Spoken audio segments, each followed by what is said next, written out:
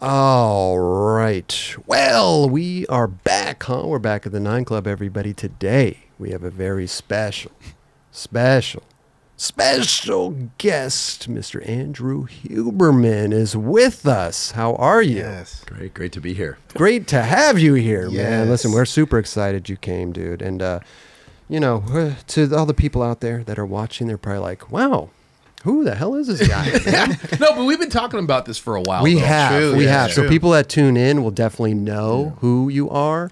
But you do have a vast past in skateboarding. Grew up in Embarcadero, San Francisco uh, stuff. But uh, professor of neuroscience at Stanford. Is that right? That is right. I got it right. Whew, goddamn, that's, that's the only. Here, one. I'm keeping. Uh, we're gonna grade. I got one. here. I got one. okay, okay, I'm taking notes. I'm not Listen, keeping score. I mean, if there's one part of this interview that I was stressing on was that right there. But uh, dude, thank you so much for coming. This is going to be fucking Yeah, fascinating. I like Kelly said, we've been looking forward to this ever since you did that Jenkem piece with Karl Watson.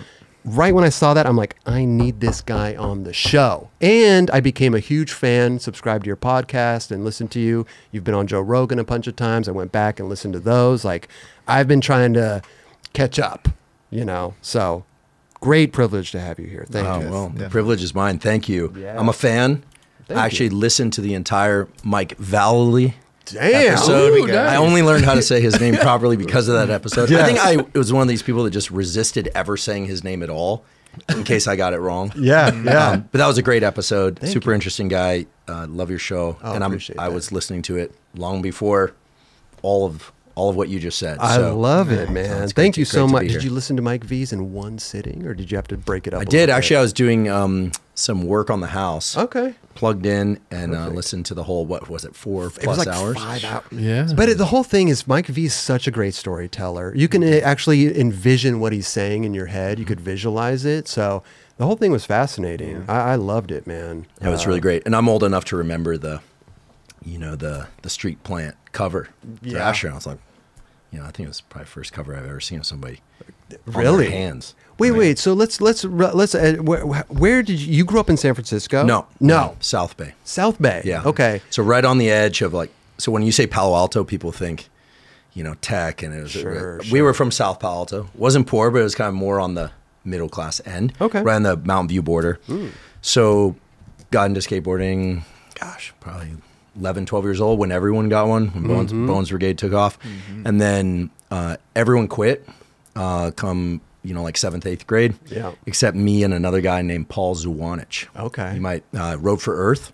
It's, that name sounds Yeah, and familiar. for think, Think and for well, race. yeah? Yeah. Oh, Think, okay. Mm-hmm. Yeah, so grew up there, skateboarding in Palo Alto, Stanford, front five.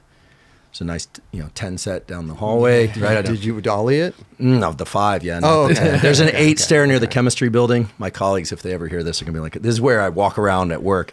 Uh, there's a hubba right now that's at um, the Paul Allen building. Never did that. Uh-huh. No? uh, no, wasn't there, and and probably wouldn't have anyway. So disclaimer on the skateboarding. I'd love to tell you that I was an amazing skateboarder. I was not. okay. And so and so since skateboarders are incredibly cruel if you uh, step out of your lane too much, I just want to be very clear. I was never slated to be one of the the big guys. um, but I enjoyed it. I loved it. It's very much um, I feel like it was my first family outside my biological family. There you go. So I was growing up going down to San Jose Sessions. Joel ran Sessions in Sunnyvale at that Okay. time, and then Palo Alto had a skate shop, and then it was really in late junior high. Paul and this other kid who became a really good graffiti artist. They call him Orphan, Aaron Curry. We started taking the train up to Embarcadero. Wow. And then Jacob Rosenberg went to my high school. Hmm. he was the first one to get a driver's license. Started going up to Embarcadero with Jacob, and then we can go down that rabbit hole. So grew up with Jacob and, and known him a long, long time. So you're at Embarcadero. What year was this? This was in the height of Embarcadero. Yeah. So, well, it was actually right as it was taking off. So, quick note about Paul. So, Paul Zwanich was just this kid. I grew up with him. I knew him since we were 6 He was one of these guys that uh, was just an amazing athlete. You played soccer, you know, some other kids would get two or three goals. Paul would get like six goals. He just, they should have just taken him out. like, it's just unfair advantage. Um, just natural athlete, super smart. He was like a national merit finalist in, in math. Like, he's just Wow. He's good at everything. I, actually, I remember one time skating with Paul. he was just doing some feeble grinds on this curb at Sears that we would always hit up. And then I was like, you should just do feeble to backside tail slide. It was kind of a joke. So first try, right? you know, Wow. back Smith or rail, first try, one of these guys. But he would get hurt a lot. He didn't know how to fall. He was always damaging himself. So, but Paul sent a sponsor me tape. He did to uh, Planet Earth, mm-hmm. and Chris Miller called him up and was like, "Let's put you on." Wow. And so he was the first kid that we knew. Where then the Earth video comes out, and you're like at your local skate shop, and it's There our friend. is. You know, it's kind of the first example of that. But basically, what happened was we started going up to Embarcadero, and I remember the first time I rolled up there it was a big Sunday session, and then there were the, there was the greeting committee, what I still think of as the greeting committee. It was Karl, Car- Nick Lockman, and sorry Sam and Sam Smythe. They were they were little. They were physically smaller at that age. I don't know how they've grown. I mean, Karl, yeah, sure. Yeah, I'm, I'm assuming they're grown. So, um, but they would show up and they were super friendly and make jokes, and um, and some of the other people there weren't so friendly. So Karl pulled me aside early, and he was like, "Hey, look, like that guy, he's cool." If he's not drinking, but if he's drinking, just that was Kelch. Okay, right? yeah, yeah, yeah. And so for whatever reason, I don't know why, because I wasn't particularly good skateboarder. I I didn't, you know, there's nothing about me that would lead to this, but Kelch was always cool to me. Oh, he was yeah. always really cool to me. I don't know why. So that helped. That's The mayor of Embarcadero was cool. go. He's always like, "What's up? What's up?" And then I got to know Greg Carroll a little bit, Mm-hmm. um, and so I would go up there. And then when Jacob started filming, that's when I started going up there a lot. Right. So I was around for a lot of filming, uh, doing my thing over on the side. Not not much of anything, just trying really hard, Okay. but not getting uh, too far. but I was there. Like we, s- I would s- can remember a long full day or even a weekend of filming Jovontae in the city up at Lincoln High School, and uh, Rick Ibaseta's part for New Deal. So I was like front and center for all those. Um, I became good friends with Danny Sargent. Danny Sargent. Yeah, nicest dude. Amazing, Yeah, dude. nicest guy. And um, so I saw a lot of that. And then there were the big crazy mayhem sessions with the van. We won't talk about all the craziness that was happening in there. It just, I mean, there, Right, it was sure. kind of a, it was insane. And actually, the one story that kind of leaps to mind about just how crazy it was there.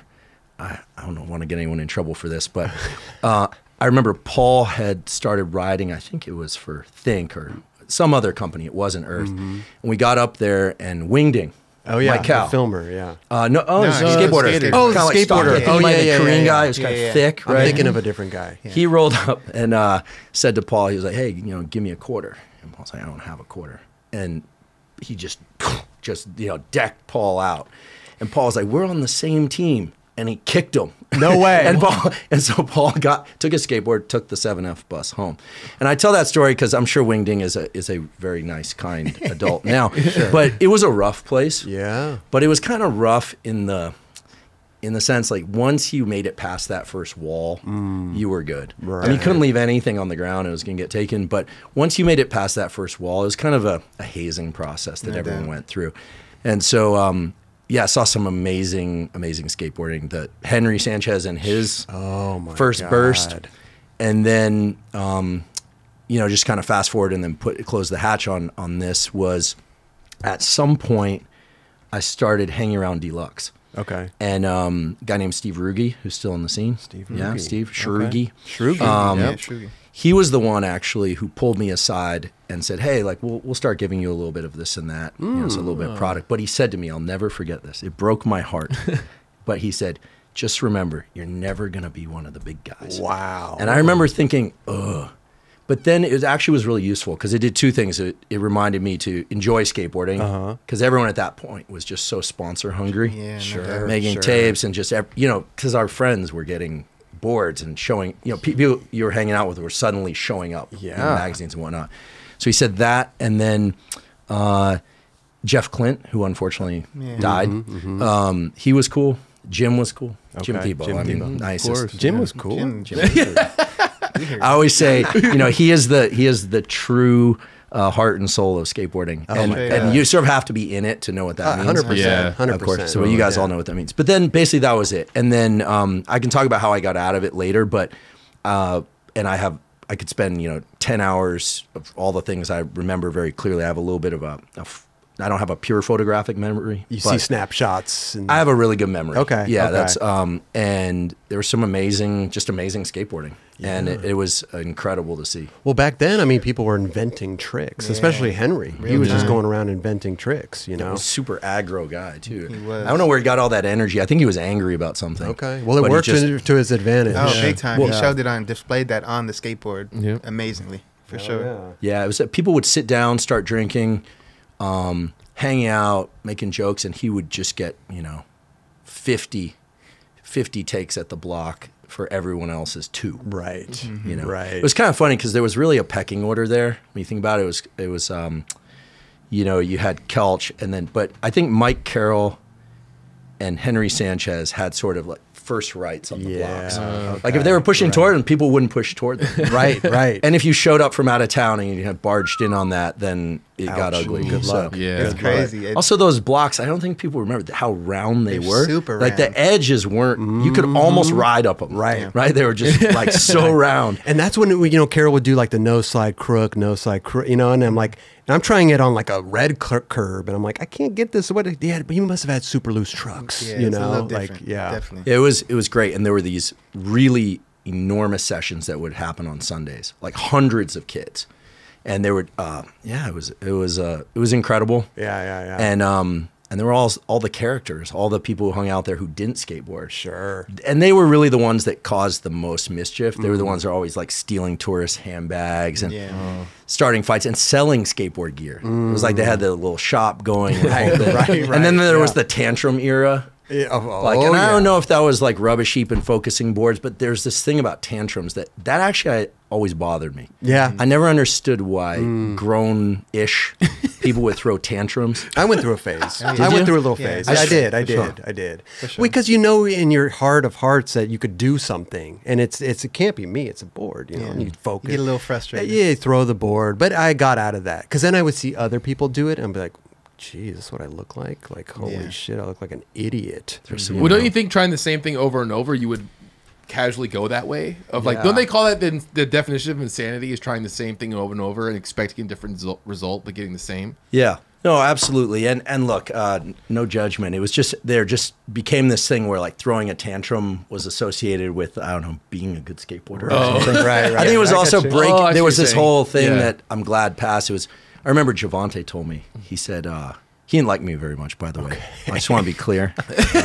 but amazing skateboarder. He didn't like a lot of people. That's okay. I mean, we got a lot. I mean, I get it. You know, I, I was I was younger than most everybody else, and I, I wasn't a city kid as much as they were just then, and uh, you know, it, it makes sense. But still, to this day, one of my favorite skateboarders to watch. Right? doubt. he could make good. anything look my amazing, God. and I used to study it. Like, what is it that he does? And I couldn't figure it out. Yeah. I just I couldn't figure it out. I couldn't figure out does he keep his upper body stationary? What it is, but he could pop everything much higher. You Mm-hmm, know. Um, and I remember he told me he said, you know, I never wear the same shirt twice. And he was serious. he just he never wore the same. He'd finish it out, done.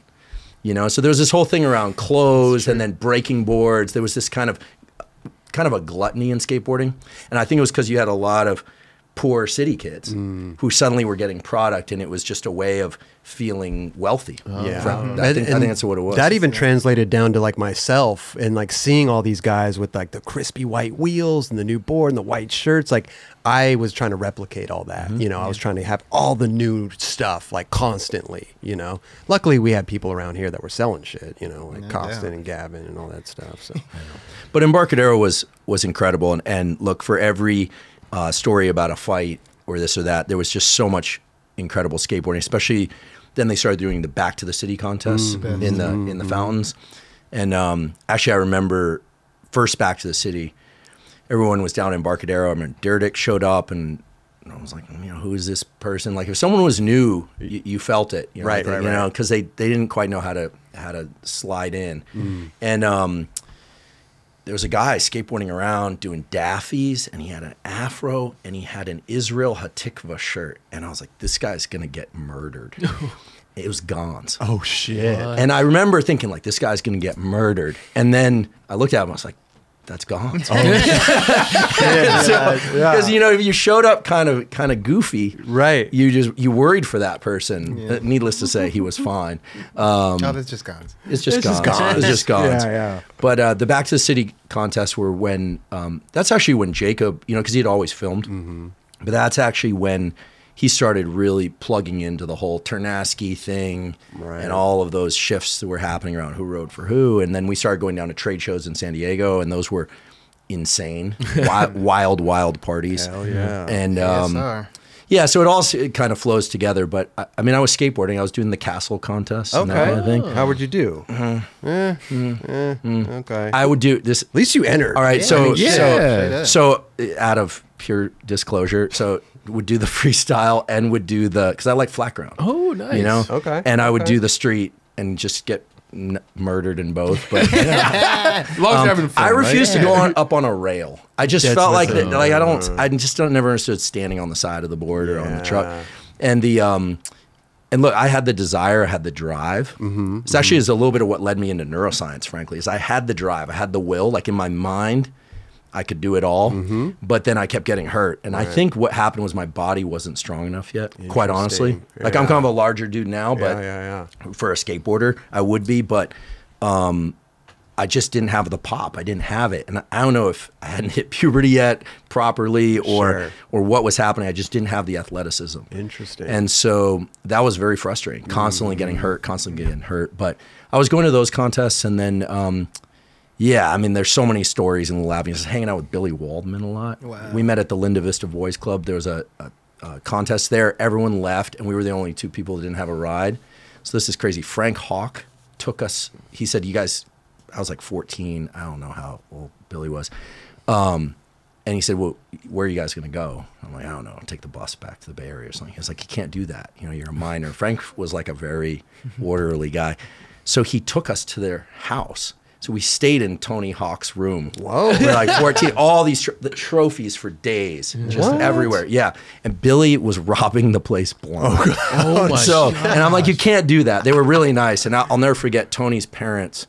Um, we had dinner with them, and they drank black coffee after dinner. Oh. And so the and then they took us to Tony's house the next day, and he was there with Ray Underhill and all this. So we're like, I was just a kid getting Yeah. thrown into all this, and um, a couple years ago when Tony's dad died, I actually wrote to him, and when his mom passed away recently, I wrote to him and said, you know. I was taken to your house. Your parents were super kind to me. They took me in. I think they must have flown me home. I don't know how I got home.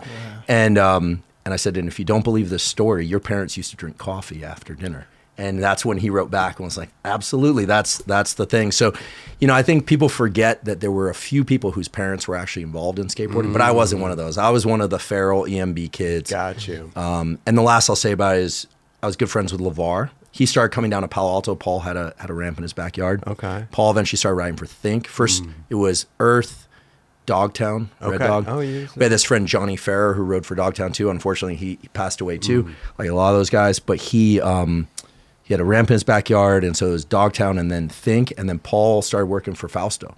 Oh, okay. Hmm. So that was the thing, and then I eventually got into other things. Hmm. I got hurt and got into um, just stopped skateboarding for a long time. Would kind of pop back into it. In my mm-hmm. 30s, I started riding transition. Oh, okay. Hmm. It's funny how when your body gets stronger, you grow. For sure. You can become more resilient. I worked out a few kind of things. My feet were always messed up. Once I worked that out, then I was like, I can actually do this a bit. You know, I'm never gonna, you know, kill it. But Right, right. and it got fun again. And um, and then a lot of people don't know this, but I actually worked for Thrasher for a while. Oh, you really? What were you doing? So when I was a postdoc, so in graduate school, you basically go. and I got an undergrad degree in biology Okay. and neuroscience, and then did a master's in endocrinology type stuff. Then did a PhD, which is the doctorate thing, and then you do a postdoc, which is kind of like a residency. So a lot of schooling. Um, and when I was a postdoc, I was getting kind of bummed out at constantly being on campuses. I love doing science, but I just was missing something. And so a guy named Mark Whiteley, you know Mark Whiteley? Oh, Yes, yeah, yeah, magazine. absolutely. Yeah, grew up with Mark. So I wrote to him and said, um, can I take some pictures, do some music stuff for Slap? So I started doing that for Slap and then got picked up by the guys upstairs at Thrasher. Wow. So got to interact with Jake a lot, um, and yeah, I was writing under a slightly different name, but did did a lot of the music stuff for Thrasher and Slap. for a number of Amazing. Wow. So from 2005 to about 2010, I was writing for Thrasher a bunch. Go up there, meet all you know, grumpiest office in the world. You know, go up there. I knew Schmitty since we were kids. But by the way, Schmitty, I've said hello to you so many times, and Schmitty's like, Oh, really? What? I've known him since I was like this big. Now he probably, I love that guy.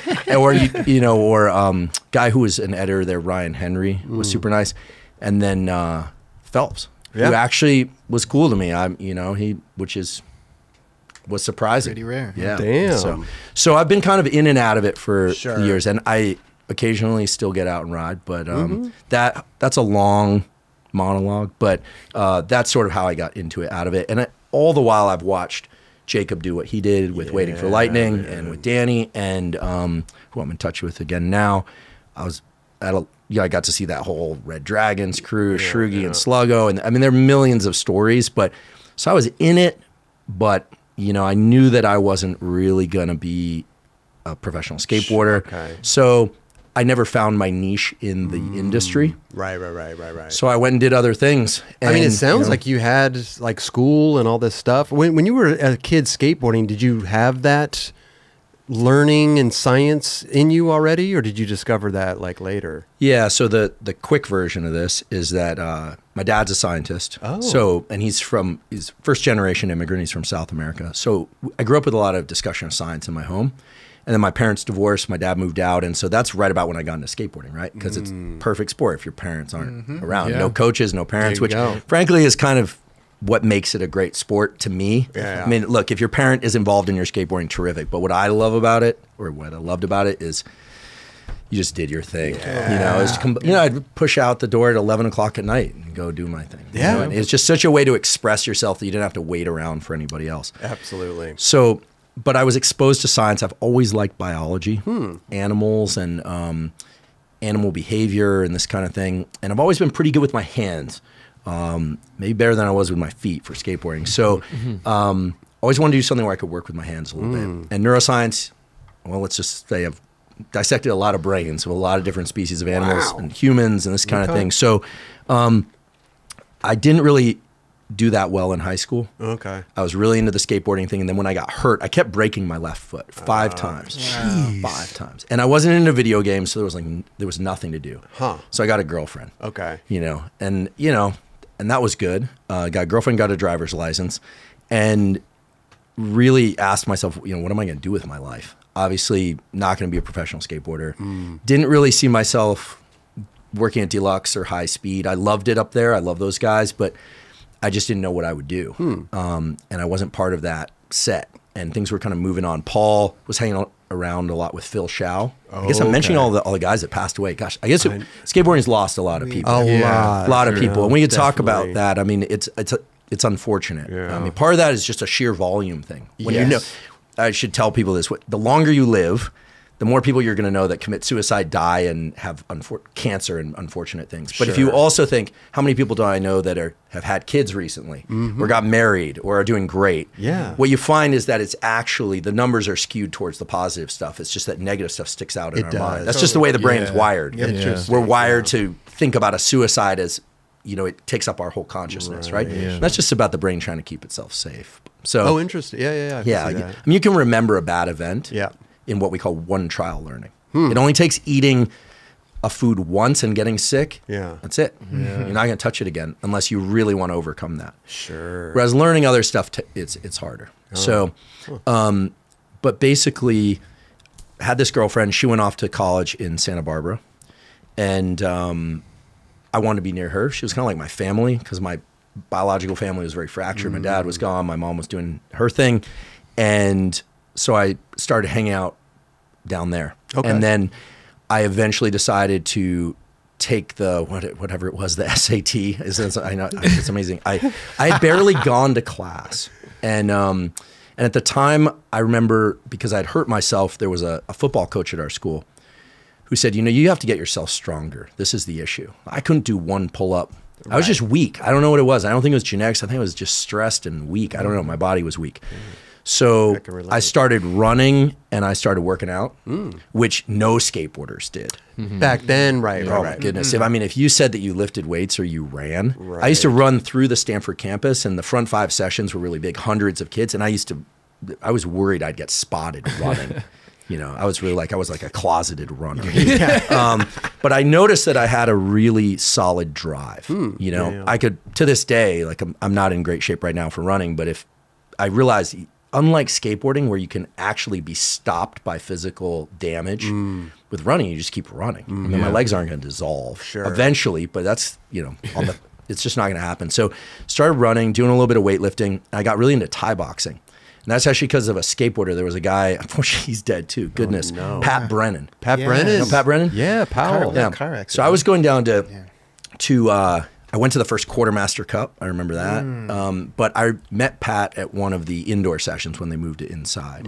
I think I went down there with Jacob and Salman and a bunch of those guys, and um, I met Pat and he was like, "Yeah, I'm getting really into kickboxing." He was into like kickboxing and weightlifting and fast cars, and we were friends. He was the nicest guy, and so guy. when I got back, I started um, Thai boxing, and I um, had like one or two fights, recreational fights, and I was like, "This is fun! Like I actually can do this." Unlike skateboarding, where I felt like I was always getting damaged. Sure. I couldn't do it. I'd see Henry or Mike do something, I'm like backside tails, I'd do it, and it just like just crush myself. I'm like didn't have it.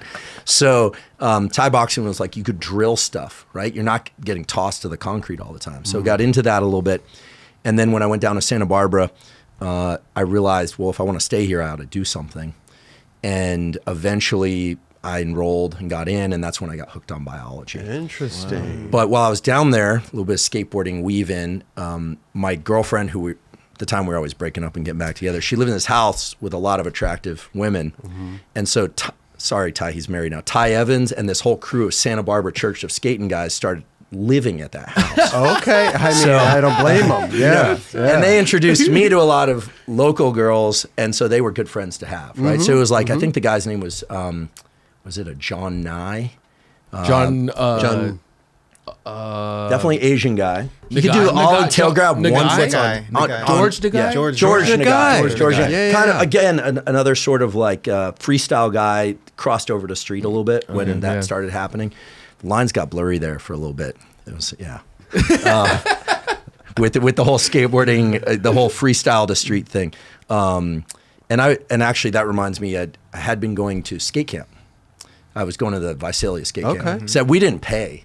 All the just Embarcadero guys would just show up and just stay. Like no one was monitoring anything, and the mm-hmm. and the counselors were all across the lake at the girls' oh, camp. okay. Yeah, this was the. It's amazing that camp anyone ever survived. Because parents would pay good money, send their kids there, and basically there were no there were no counselors. It was, it was really a mess for sure. Yeah, it was I chaos. It was But fun at the same time. Yeah, yeah, Yeah. yeah, yeah, yeah. And there was another guy that rode for Spitfire. And to be clear, I didn't really ride for them. They were just doing it out of sympathy. They would give me some some wheels now and again. Uh, this guy Andres Camacho, H Street Video pressure flip on transition to fakie. And I remember Lavar came up to me. He's like, "You got to start doing all your stuff on transition." And it was the first time I'd heard about a pressure flip. So, like, what a terrible, terrible idea to start doing pressure flips, right? So, people brought pressure flips from skate camp. It was this Camacho guy from Texas. You know, leave it to the freestylers to just mess up everything. And brought that back to Embarcadero. There was a short season of pressure flips Oh, when, I it, yeah. when it was permissible. Yeah, yeah. And then it I would- fell victim. Yeah, well then it was a punishable offense. for a long time. Look, they're they're fun to do. They are fun Are to they? do. I, I like. I throw out a pressure flip all uh, you know occasionally. Hmm. Yeah, they're fun. Yeah, there's a time and place. If you're at Embarcadero, for sure. yeah. they- Well, nowadays anything you could you could do. you can do anything these Yeah. days for sure. yeah, I've noticed acceptable. that. Yeah, I, I've noticed that. It's acceptable. it's sort of like cert, everything's in now. Yeah. Yeah, back then there were rules. You know how, how you dressed, how you spoke, what you did. I mean, you could not go outside the lane line. Sure. Yeah. And I remember as I tr- started getting out of skateboarding and into neuroscience, Mm-hmm. school and biology, and getting really excited about that, of course, kept an eye on it. And I had still had friends in it. So Paul Zwanich was coming down to Santa Barbara with um, Jamie Telch. I grew up with him. He's still in, he's still around. When he, he was little, so we called him Squirt. Then he got big, and then Paul married a guy named Dave Rosenberg's sister. So these are all these like San Jose skateboarders. Gotcha. Yeah, yeah, yeah. yeah. Okay. So I would pay attention to what people were doing. Mm-hmm. and um, it seemed like things were starting to expand in terms of suddenly you saw more. You know, like in videos, you started hearing hip hop. It wasn't just punk rock music. Mm-hmm. There was more room. All of a sudden, Right. like the, the people started dressing differently, and and that's actually when I think skateboarding got better. Mm-hmm. And had I gotten into it then, it actually would have been a good thing because I think when I got into it, it was either you stuffed yourself through this little keyhole, or you weren't allowed. Yeah. Um, But I watched it grow and flourish over the years. And even when I was in graduate school, I eventually went off and did a, a PhD. And I would do experiments late at night, and I would, you know, watch skateboard movies in the back. You know, I'd let them play, or and I was always keeping an eye on what was happening. Do you still keep an eye on it? Do you follow the Instagram? I watched the Nine Club. Perfect. Perfect. I do. I mean, Instagram. Years later, when I started teaching science on Instagram, just out of a kind of, a, I have sort of a scientific Tourette's. Yeah, I just if I see something or hear something exciting, I just want to tell the world. Yeah, it's like yeah. the coolest thing. We all have this technology and it's this biology, and I just feel like people should know what's what's literally locked inside them because it's pretty easy to access once you know what it is. Mm-hmm. So start teaching on Instagram, and then can't help yourself. You know, you Yeah. check the Thrasher feed. Sure. Um, and actually, the guy who it is the operations manager for my lab, mm-hmm. incredible guy. His name is Gary Hall. He basically is the reason my lab still functions as well as it does. He's mm-hmm. incredibly good. He years ago was a professional skateboarder for Santa Cruz. Hmm. Rode transition, freestyle, and street. Wow. Kind of like they did. He was a generation above us. Okay. Right. Okay. And knew a lot of people at NHS and still does, and still skates big transition, full pipe stuff. He's good friends with Stevie, and and you know he can throw down. So Sure. you know he can throw down on big vert. He can throw down on the flat ground. He's kind of that that all around skateboarder. Yeah. ATV. Yeah, yeah. And wa- and walking by him on the street, you wouldn't know he was a skateboarder. But put him on a skateboard, and he's super Kills comfy. Wow. So I always kept tabs. Um, and then but Instagram definitely helped. Yeah. And then I look at what people are doing, Oh, and God. I don't know these guys, but you know, I look at like what Clay Kreiner is Oh doing. my God. Oh yeah. Perfect example. Yeah. Jeez. I was trying to think of, you know, in the world of genetics, you would think, okay, so who crossed with who, crossed with who would give you a Clay Kreiner? I feel like it's sort of like a, like a Danny Way with a John Cardiel. And then there's something else in there, and, then- Something and then they birth a child, and you do some gene editing, and you get Clay Kreiner. Yeah. I love the way that you analyze this. It's I amazing. th- uh, yeah, I don't. I don't try to think about it. It just kind of happens. Yeah. Um, and then, of course, you know, still in touch with Jacob. And then years later, when starting a podcast, was thinking about, you know, how do we do a podcast? How do we teach science? How do we make it look cool, Fun. But yeah, make it look fun, but Yeah. also have a have the right tone. And uh, I had met Mike Blabac at um, a, actually a backyard party at Jacobs, and um, our our first interaction was kind of interesting. Um, I don't think he'd mind if I say this. Sorry, Mike, uh, in advance. But I met him. I was like, oh yeah, Blabac, Blabac photo. I'm like, of course, you know. And um, and Mike, is a Midwest guy, right? I know you guys just have. He's like, he's like, I have a question. I'm like, all right. yeah. and he's like, I think I need to get in shape.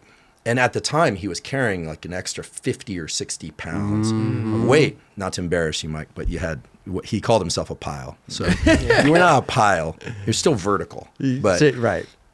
and, um, and he said, uh, yeah, you know, I just don't feel good. You know, smoking too much, drinking too much. I just don't feel good. And people ask me this kind of stuff all the time. Like, what do I do? How do I sleep better? How do I stop stressing? And usually I find that people are not serious, uh, meaning they they want an answer but they don't want to do the work. Right. Yeah. So I was like, look, it's really simple.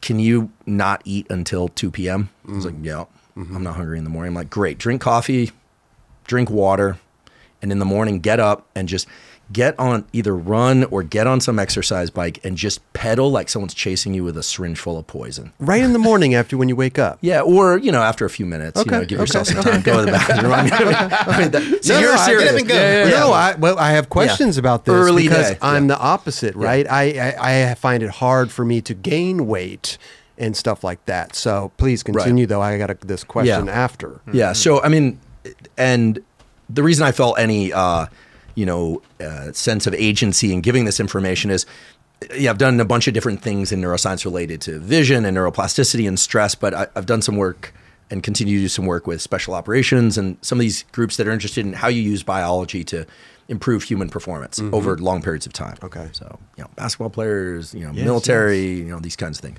Um, and so there's a pretty straightforward formula where when you've been asleep all night, your fuel reserves, like you've got fuel in your fat, you, you guys don't have any of that, but you got fuel in your fat, you've got fuel in your muscles that can Mm-hmm. be burned, and you've got fuel in your liver. It's called glycogen. And when you wake up early, all of that is as low as it's going to be because you haven't been eating anything. Got you. And so if you exercise then, your body starts dropping into your body fat stores quicker. So what I was trying to give Mike was a was a tool that would allow him to see some results really quickly. Oh. So I said, look, do it fasted and then continue to hydrate and then eat your first meal in the afternoon. And I said, and also, it, you know, do you like drinking? And he was like, well, I don't know. I drink mostly because it kind of sets me straight up here. And I was like, well, we can talk about the stuff to kind of set your head level. I mean, he wasn't spun out. He just obviously was medicating with alcohol. Sure. Um, and not in a severe way because he's fully functional. He's an amazing photographer, Yeah, raised two yeah. kids. And so I Sure, want to be sure. clear about what we're talking about here. Yeah. Um, I didn't detect anything dysfunctional about him. He was just reporting to me that he wanted some assistance. Right. So I said, you know, would you be willing to drop the drinking or, or you know, pare it back? And he said, sure. So okay, so explain that, and I said, look, and you know, here's my number. Just um, for the anxiety and stress management, uh, I'll give you some breathing, some respiration tools that work really well, that are not you know, woo mysticism. It's not. I'm, gonna, I'm not going to tell you to meditate 30 minutes a day, although that's a cool practice too. I'm going to give you some tools you can use in real time as you're working hard and dealing with whatever it is you're dealing with in life. Okay, so that ends. The conversation ends, you know, and um, Greg Hunt was there too. who I knew from growing Yeah, up. yeah. Um, talked to Greg a little bit, and then a year later, Mike reach out, reaches out and says, "Hey man, thanks for all that stuff you gave me." I was like, "Oh, cool." And he's like, "I lost sixty pounds and I haven't had a sip of alcohol since we talked last, and feeling pretty good." Damn. And I was like, "So how did you do it?" He's like, "Well, I get on the bike and I pedal as hard as I can and." Like someone chasing me with a syringe full of poison. And, uh, I was like, he remembered. You know, and I was so impressed. Like, very few people can just take the the menu and just do it. Go. right, Right. and maybe it's his Midwest upbringing. Mm-hmm. I mean, he did get gifted a AK rifle for his ninth birthday, living in Ohio, growing up. I mean that. I mean, Mike's. Okay. Yeah. Yeah, yeah, yeah, yeah. yeah. Um, but some people yeah. also, I feel like, reach that point in their life where they're like, "It's time. This is a, Right. whether it's smoking Yeah. or drinking. Like they, you can't quit smoking unless you're mentally prepared to. Right? It's like there's that that that switch. look, I always say the beauty of being young is that neuroplasticity, your nervous system's ability to change Mm. in response to experience, to learn things, Mm-hmm. is at its absolute peak. However, you don't have that much control over your life when you're young, Right. Especially when you're really young. As you get older, it gets harder to change your nervous system, but you can do it. Mm-hmm. But the advantage you have is that you can direct exactly what changes you want to happen. And so there are two different ways to change your nervous system depending on whether or not you're younger or you're older. And it's not like the gate drops right at 25. Okay. It just tapers off. But Mike made the decision and I always say you you if somebody is an adult, you can't change their mind. Right. You literally can't. They have to make the decision to do that. And he flipped the switch. He flipped it. He flipped it and he's still there. And um, I think he feels much better Yeah. physically. And then, and I feel guilty for this, but then I started getting him really hyped about all this stuff. I was like, oh, there's, I started sending him athletic greens. I was like, Yeah, drink yeah, athletic yeah, greens and, and uh, check this shit. out. You know, you can, uh, uh, I have a, one of those barrel saunas. Yeah. So I was like, oh, I like just like sweating all that out. And it, when you sit in the sauna, your heart beats Mm. and your, and your vessels dilate. So it's a little bit like exercise, which most skateboarders don't need because they're really active. Got you. But as you get older, you want to keep all the plumbing working really well. So was like, I'm going to send you a sauna. I'm going to send you a cold dunk because I got, you know who the Iceman Wim Hof is? Oh, hundred percent. Yeah. So in 2016, I heard about this guy Wim Hof. Mm-hmm, Bought a plane ticket, went to Spain, and just started hanging out with Wim and doing crazy breathing and ice bath stuff. Wim's down just to kick it. Yeah, Wim should get, we get Wim here. Okay, let's do it. We'll do some breathing Yeah. exercises. strongest human being I've ever met. Sure, guy. sure. We were hiking in the Pyrenees, French Pyrenees. Uh, Mm-hmm. Excuse me, Spanish Pyrenees. We were in Spain, And there was a cliff. We get to the top of this cliff that we never should have climbed in the first place. And he went to the edge and did a one arm planche. The guy's like 60 years old. One arm planche hanging out over the valley. And then, you know, literally like this.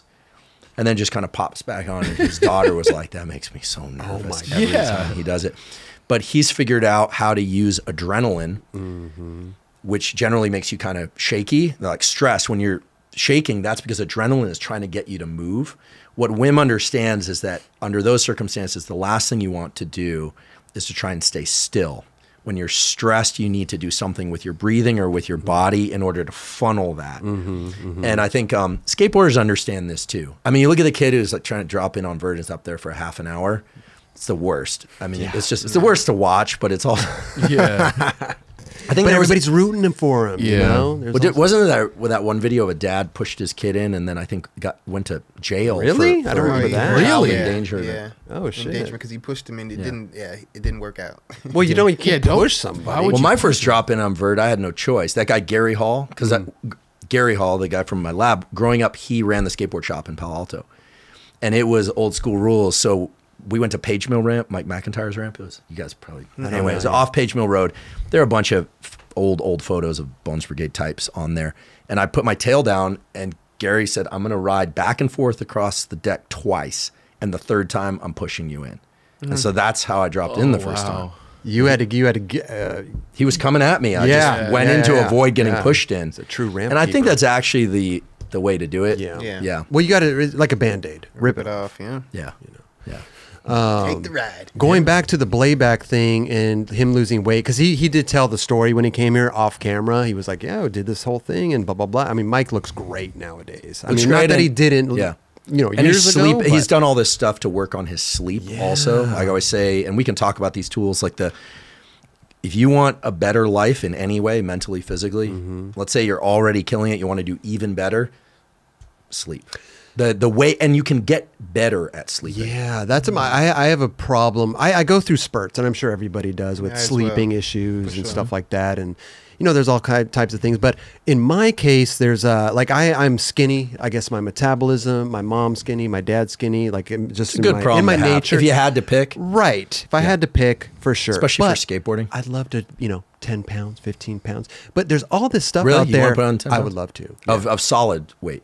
Just anything. Yeah. Just anything? Yeah, in my ass. even just Yeah, in my even ass, just a whatever. cluster, even just a Yeah. little pocket of Yeah, it fat. was my- yeah, One butt, if one butt cheek was 10 pounds, I'd be, I'd be content. No, but I'm local lately. We can get 10 pounds on you of solid that of solid mass that will help you skateboard better that's, in two months. th- okay. Let's I'll- do I'm, that, I'm though. down for the Yeah. challenge. I'm down for the oh, challenge. He's been trying to do this for. He's been saying this for a long time. well, listen, I bought a pull up bar. I did all. But here's the thing there is. You so bought it, mu- or you, did you actually pull up, or you just bought the? Book. I got to like maybe five, and then I put it in the closet. But that's beside the point, though. Um, You carry it around. There's about so much- I got it in the closet. yeah, yeah, yeah, it's in the closet. But it, but there's so much information about losing weight, right? Right, and to gain weight, it's a whole. You know, we Right. talked to Nick Dompierre. Eat this, do this, breakfast. You know, this, that, and the other. Is he into to fitness? Fitness? something? He's a very fitness. Is he a big dude? Big dude. Yeah. That's works out. It's always weird to me when sk- when skateboarders work out. I'm not. I'm not giving him a hard time. Obviously, you know, I. Oh, he's not- killing it though. I mean, I enjoy. I figured out pretty early on for whatever reason. Didn't have the pop for skateboarding in my Mm-hmm. legs at that age, but I mean, I can look at a weight and I grow. Yeah, there must be some genetic thing. It's got to be some myostatin gene or one of these genes that controls cell growth. Okay. Um, but I, for the longest time, I always thought, you know, the worst thing you can be in skateboarding is muscular. Like that, you don't want that. That's ridiculous. I remember seeing Sluggo the first time. If you have a head the size of Sluggo's, Yeah, yeah. then you can be a big dude. Sure, Right? sure. But if you're big and you don't have the big dome, Yeah, I got a small head. You know, Well, so I gotta, I got it. It needs we'll, to. we'll distribute it evenly. Okay, okay. But Yeah. I remember Jacob got into working out. Yeah. Because Jacob had some extra weight and he started pedaling like a maniac. Mm-hmm. I said the pedaling is is great on the bike and everything, but you know you do want to do resistance training because also old guys start complaining about their back. I'm very proud of the fact that my back is is solid, mostly because you have to do certain things for your back. So we go to the gym in I think it's somewhere here in LA. I walk through and see Brandon Biebel. Yeah, Is that how you yeah, his yeah, last yeah, name? yeah, It's yeah. enormous. yeah, Yeah. Dude turned sideways like this thick. Totally. Yeah. Big so I was like, whoa. Well, Can you he's still made, skateboard he's like made this? A, he's made a change. Can He's you definitely- skateboard that way? he, was just- doing it for He man. was, but he wasn't working he wasn't out how he big. was now. Yeah. Right, right. And it was right. starting to look a little bit different, you know, because Yeah. like he, when you start skating like this, it's just like you're, But you could tell he was getting more out of skating and into that. Yes. Right. Hey, look, could see when as it people are doing something in the direction of their health, I'm a fan. Yeah. I mean, I'm also just a Brandon Biebel skateboarding fan, he's right? He's really- amazing from So Sacto, sick. right? Yeah, Yeah. yep. The, the Sacto scene was always Oh, kind of crazy. Stefan there was a guy from up there, Jeff Toland. Do you guys remember that? I know. There are A couple, He like for Think as five, well. five people who listen to this Roger, Roger podcast. Pepper. Who do you write for? He wrote for Think as well. Think. Yeah. Okay, Five okay. people who listen to this podcast will be like, "Oh yeah, Jeff Toland." Yeah. um, but the Sacto scene always had um, some really hard players. Like they Mm-hmm. just dug in deep on everything, and also the Far East Bays Yeah. guys like the Wade Speyer and all the guys Oh, out from man. all the places where it's boiling hot. Yeah, yeah. yeah, But in any case, uh, you know, Biebel, I saw him there. I was like, dude's big, and that's when I realized, you know, skateboarders are hitting that age where they have this question: Do they start taking care of themselves or not? Mm. Right. And you know, I think it. No matter who you are, it, it's probably not a good idea to be really large. It's actually any large animal lives less long than the smaller version of that same animal. So in the animal kingdom, little animals like honeybees and- and, Survive. th- th- and well, and um, hummingbirds and honeybees, they have short life compared to like whales. Sure, sure. But within a species, like you look at dogs, Great Danes have a short life. Yeah. A little Shih Tzu or whatever that. I, no disrespect yeah. to the Shih Tzus, but you know, and the yeah. Shih Tzus. The, uh, I think that is the correct pronunciation. They have a uh, much longer life, Ah.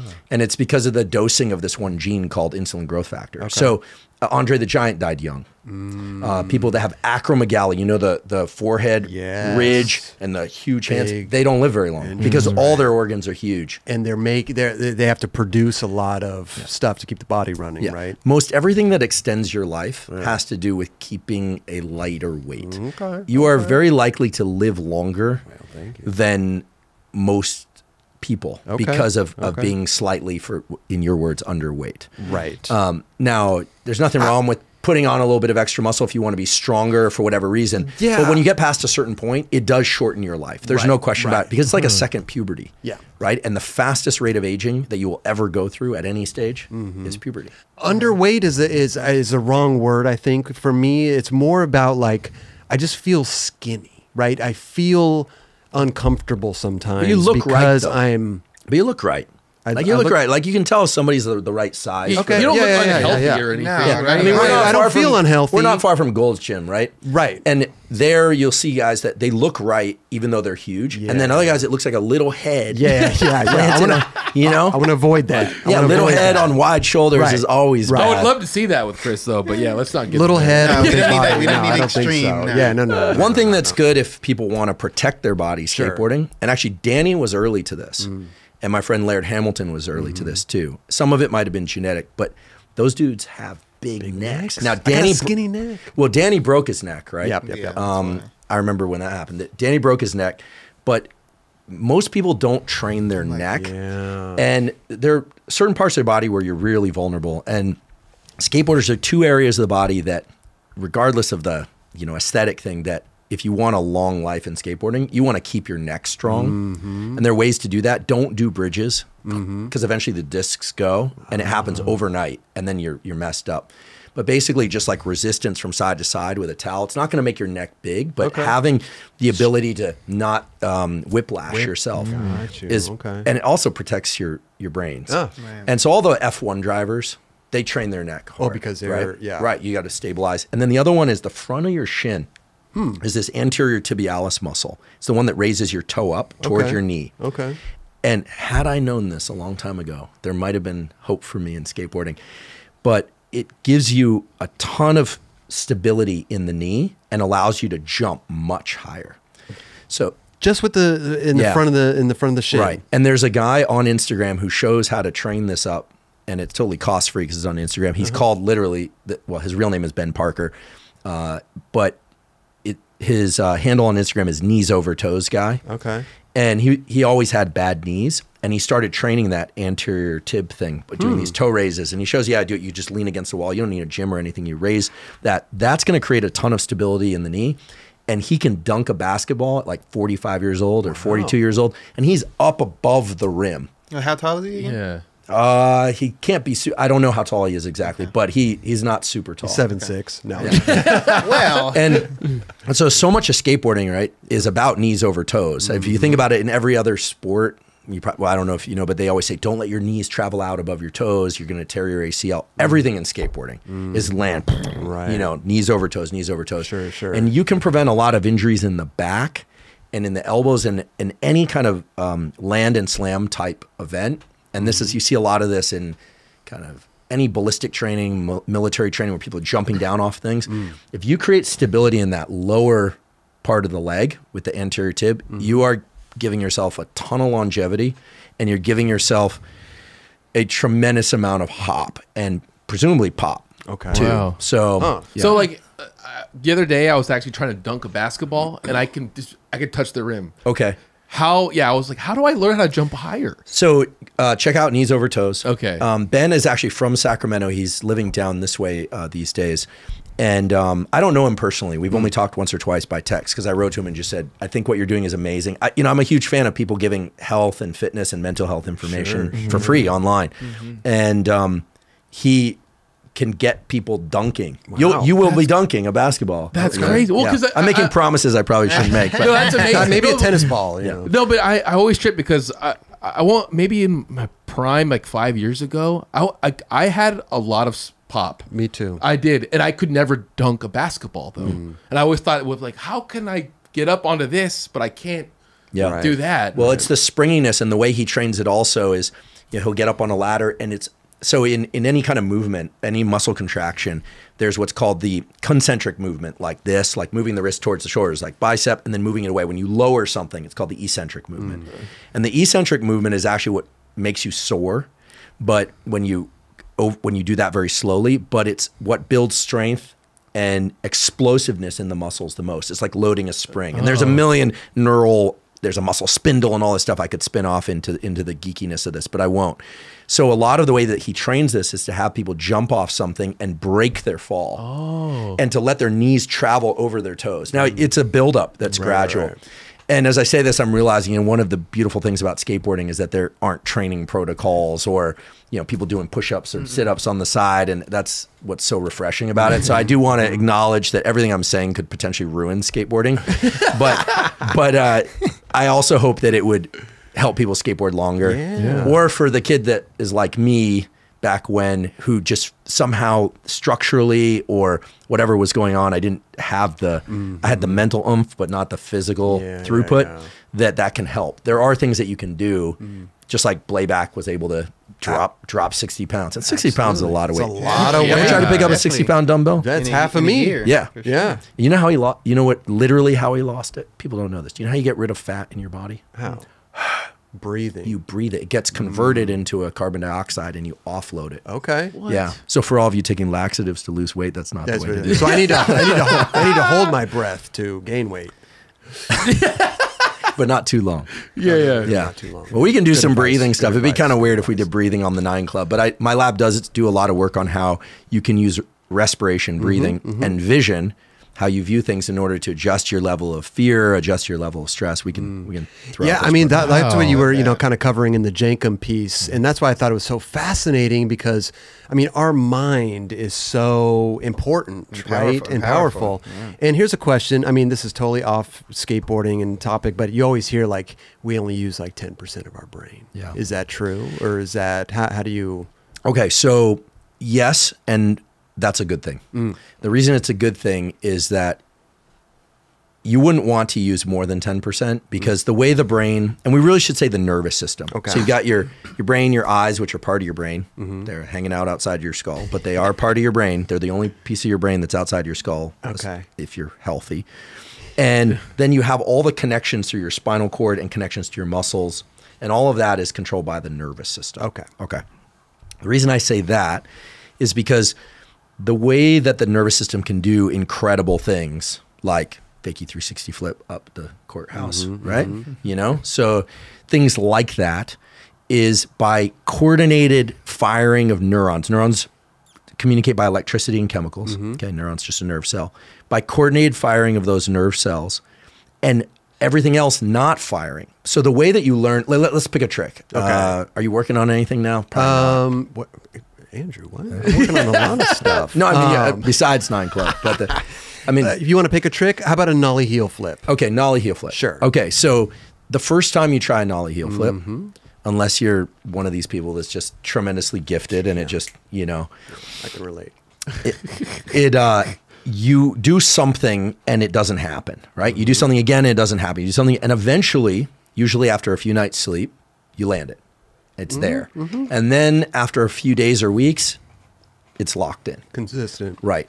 What happened for you to go from unable to do nollie heel flip to able to do a nollie heel flip is that all the incorrect commands of your nervous system had to be eliminated. Hmm. So the process of motor learning always involves removal of incorrect commands and movements. And that means taking 35% of your nervous system being engaged to 20, 25, and eventually 10. So, what I'm trying to say is that basically, if you want specific portions of your nervous system to be activated at once, and that's going to represent maybe just 10% or even 5% of what's possible to be mm-hmm, activated. Mm-hmm. But that's where you get the precision of movement. When babies don't have this precision of movement. So when a baby comes out and is just flopping there like a potato bug, Yeah. right? Yeah, I hate the reason is all the motor neurons, all the commands are getting sent down in mass. It's like a, it's like a traffic jam. It's just a, it's chaos. Sure. And then over time, they learn how to coordinate their movements mainly by suppressing certain aspects of movement. And and to and we could talk about the process of going from learning so into so when you start off, you're unskilled. As you go from let's say from unable to do nollie heel flip to able to do nollie heel flip, mm-hmm. then you become skilled in the nollie heel flip. Yeah. Then, as you go from skilled to what we would call mastery, mastery is where you can start to introduce some variable conditions. You can do it on bricks, right? Just incidentally, first time all those EMB guys came down to a indoor quartermaster cup, it was hilarious. I'm sorry, but I just remember they were sliding all over the place. there are no bricks. They'd never actually ridden on a smooth surface. Right? It was like brown marble benches was like only this big. Yeah. That was the only smooth surface they ever ridden in all of San Francisco. So I remember they were just sliding. Kelch was screaming. I was like, "Where are my bricks? Where are my bricks?" my bricks? So once you have mastery, then you can start to make the adjustments to be able to do nollie heel flip on different surfaces. Mm-hmm. You can even talk to somebody. You can hold a camera while you do it. Yep. You probably text if you're you or you or mm-hmm. you. Do it down some stairs. Yeah. Do it down some stairs. Yeah. And so then what you're starting to introduce is you're starting to do some variability in the movement. You're starting to introduce that back in.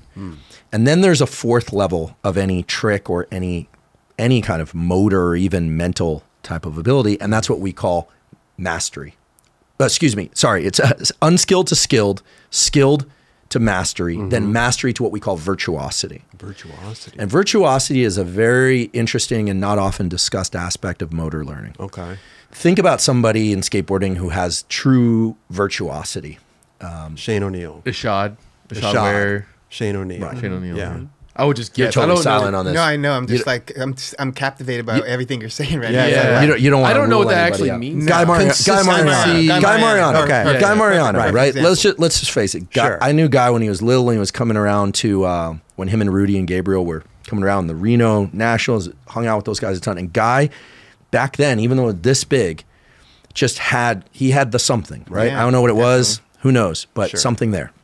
Okay, he has true virtuosity. He can make anything look amazing, right? And the stuff he's putting out in his little stories. God, My only regret is that those disappear after I know, 24 I hours. know. He's like sliding into. I was on these. It's No, crazy. But you can He's record those. You can Hmm? record them. Uh, They're amazing. So whatever he's doing is amazing.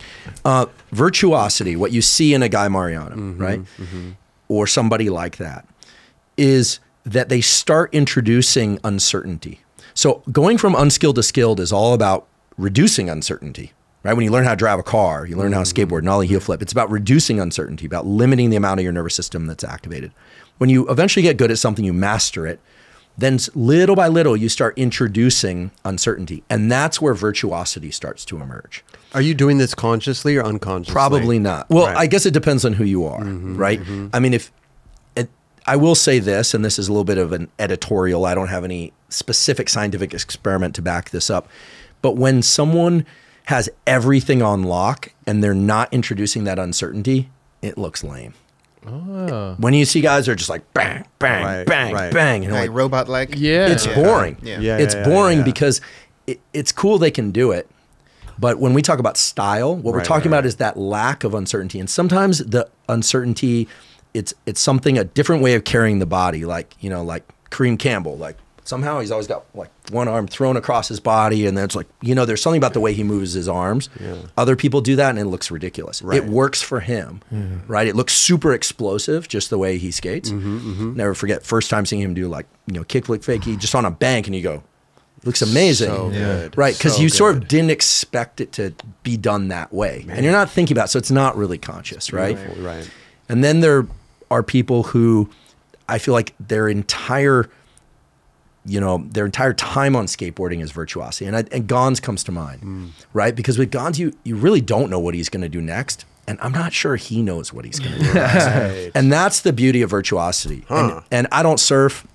I think I went out once. It's a weird sport. Unlike skateboarding where everyone's friendly, you show up at mostly friendly. You show up at a skate park and you, if you don't know how to skate, like people are at least friendly. You try and surf. Yeah, get out the water. No, they'll beat you Yeah, up. yeah, yeah. I mean, they're not gonna beat me up, but they'll beat you up. They'll beat- Beat me up? Okay. Not That's you, why I don't not surf. you, Oh, specific- oh, okay, not you okay, specifically. I'm- Not I'm- specifically. after I put on the- watch, watch, I'm gonna get my ass kicked by a No, bunch no. of surfers this Yeah. afternoon. After I put on the 10 or 15 pe- we'll, we'll see. Okay. What's weird because the whole essence of their sport is supposed to be this like really laid back, chilled thing, the ocean, and like this whole thing, and then they'll beat you up and slash But you your to think there's like one, it's like a one. That's what they thing say. I see a lot of waves. Yeah. You're right. You're Yeah. right. They're Now, infinite w- ways, the yeah. virtuosity thing, uh, would it be uh, equivalent to like confidence? Or Well, you definitely kind have to. In, it is inviting uncertainty. So Hmm. let's pick an example. Um, well, okay. In, in You look at fairness, Nyjah Huston, right? I mean, he is just. It doesn't look like this man has any fear. He goes for it. If you're just watching him in person, it's like this. Wow, Yeah. it's like crazy. Yeah. how is he this good? I don't know. I grew up in Davis. There's not much crime there. No, no fear. No, I don't know what it is. Um, I don't know what it is. I I think that um, look, there are a lot of we're getting into the kind of subjective stuff that's Sure, a little sure, bit sure. hard to pinpoint. But I think any skateboarder would say, okay, yeah, Guy Mariano, Mark Gonzalez. Mm-hmm. Yep. There's this uncertainty about it, and like Guy, I always think is. It, you know, sometimes when he's riding out of things, it almost looks like he's going to fall, and then he does another trick, or he rides away in a way that looks incredible. Yeah. Okay. So virtuosity is when you have so much mastery over something that you're not just trying to make it, you're you're sort of inviting in that kind of looseness and that relaxed. Yeah. You know, it's five percent relaxed. It's not you know Right. super laid back. Mm-hmm, mm-hmm. Mm-hmm. And it and then when people try and do this, it never works. When people are like, oh, just try and look casual, it just looks stupid because there's something. It's at that edge of really trying and also allowing whatever to happen. Yes. And that's where really the magic takes place, right? And this is true of other things too. This is true in basketball. Um, in fairness to surfers like you know Laird Hamilton, he wants the wave he can't quite understand Mm. because he's mastered all the ones that you know he doesn't want to see the same thing he's seen before. sure, He wants uncertainty. He wants fear, Mm. and just a tiny bit. And so I think that motor learning involves this progressive narrowing of the amount of your nervous system that you're using. And then kind of opening that up a little bit again. Hmm. That's what it's about. And so if you activated 50 or 100% of your brain and nervous system, we have a name for that. It's called an epileptic seizure. When everything is active at once, it's you know, that's an Oh. epileptic seizure. You don't want that. Right. So everything about learning is about precision and limiting the amount of activation. And to learn things faster, you essentially need two things. You need focus. You really have to be focused on what you're doing. Yeah. And that doesn't necessarily mean visually focused, but you have to be paying attention to some of the cues because what your nervous system is an amazing organ, right? Your heart pumps blood, but your nervous system, its job is to figure out statistics, meaning how often when I do this, does my foot land on the like right above the front truck? Yeah, yeah, how often when I do this, and but you're not thinking about it consciously. Your nervous system Right. is problem solving in the background. Mm-hmm. And so what's amazing about that is you, the main way to learn is focus and just increase the number of repetitions. Mm. Now, what the thing maybe this goes back to the why tantrums are bad. When you have a failure, Mm-hmm. when you, nollie heel flip and it just just nothing. Failures they create the sense of frustration, but that's your forebrain, the part of your brain that can pay attention, turning on to pay more attention on the next try. Okay. If you made it and made it again, you wouldn't pay attention, mm-hmm. right? So if you want to learn something, you have to pay attention. And when that frustration kicks in, mm. that's when you don't start throwing tantrums. That's when you know that the next trial is the one where you actually can learn the most, Sure. whether or not you make it or not. And then over time, as you start getting better at it, that's usually because you had enough focused repetitions where you're really trying, trying, trying, focus, focus, focus, failing, mm-hmm. failing, failing. And then all of the changes in the nervous system that allow you to do something that you once could not do occur during sleep and what we call non sleep deep rest. So your brain rewires while you're asleep. It takes the events of the previous day and it makes adjustments in its connectivity, literally the connections between neurons, sometimes new neurons, but mostly the connectivity between neurons. And then you step out on it, it's like, nah, Well, heel that- flip. that- that's the part of it, right? Is like you could be trying a trick for seven hours one day. Right. You come back the next day and you do it really quickly. Sleep. Right? Yeah. And there's also the part. It's a phenom- It's like. It's all you, you try a trick for the first time, you know, maybe like kickflip front crook, fucking, you know, nollie back heel out, or whatever the case may be. You almost do it first try, right? Because maybe you're not trying or anything. Then you get into it. Okay, you're filming. Let's get this, and then six hours later, you're still trying it. But that first attempt was it. You got into it. You flipped it. You Right. didn't land it. Right. Right. Well, the mind is a tricky thing because it can cause problems or it can make things better. um, But then you know you have those not to cut you off, but then you have those moments where you you black out Yeah. and you make it and you're like, I just did that. yeah. Right. Yeah, there's a name for that in the Buddhist community or in the high performance community, even they call that wordlessness. When you're not in a mental script that involves language, right? I mean, a lot of skateboarding, it kind of defi- it defies language. We have names for all the different tricks, right? And all the different things you could do, but it defies language. Uh, there's a, a guy, Josh Waitzkin. He was the small kid that grew up in Washington Square Park and would observe the people playing chess. And he became the, um, the he was essentially the character that was uh, played in the search for Bobby Fischer. Okay. Became a grandmaster in, hmm. in chess, and then went off and got into something called Tai Chi hands, which is a little bit more combative than kind of just the movement Tai Chi. Hmm. And then now he's into stand up paddleboarding, and he got really into jujitsu. And he's done. There's a great book that he wrote called The Art of Learning, mm-hmm. and it talks about this how through repetition and through creating times when you're in wordlessness, that's also when the nervous system can change and function really well. So, to make this practical, if you've been working on something, working on something, working on something, and then you're pushing home at the end of the day, just push home. Just let the brain go idle because you're giving it an opportunity to start making the adjustments. If you're like, ah, nollie heel flip, nollie heel flip, nollie heel flip, you know, It consumes you. Yeah. Exactly. And this is part, you know, and there's a little bit of, of shame in this, I, I confess, because when I was younger, maybe that was another mistake that I made was just trying to like train skateboarding, that super neurotic, gotta get it, gotta get it, gotta yeah, get it. yeah. When you're having fun Yeah. and you're relaxed, that's when it comes together. Yes. And so this is, you know, and nowadays I think things are probably different. I think maybe more people are not obsessed with getting good. Mm-hmm. That's the one challenge with seeing a lot of your friends get really good. You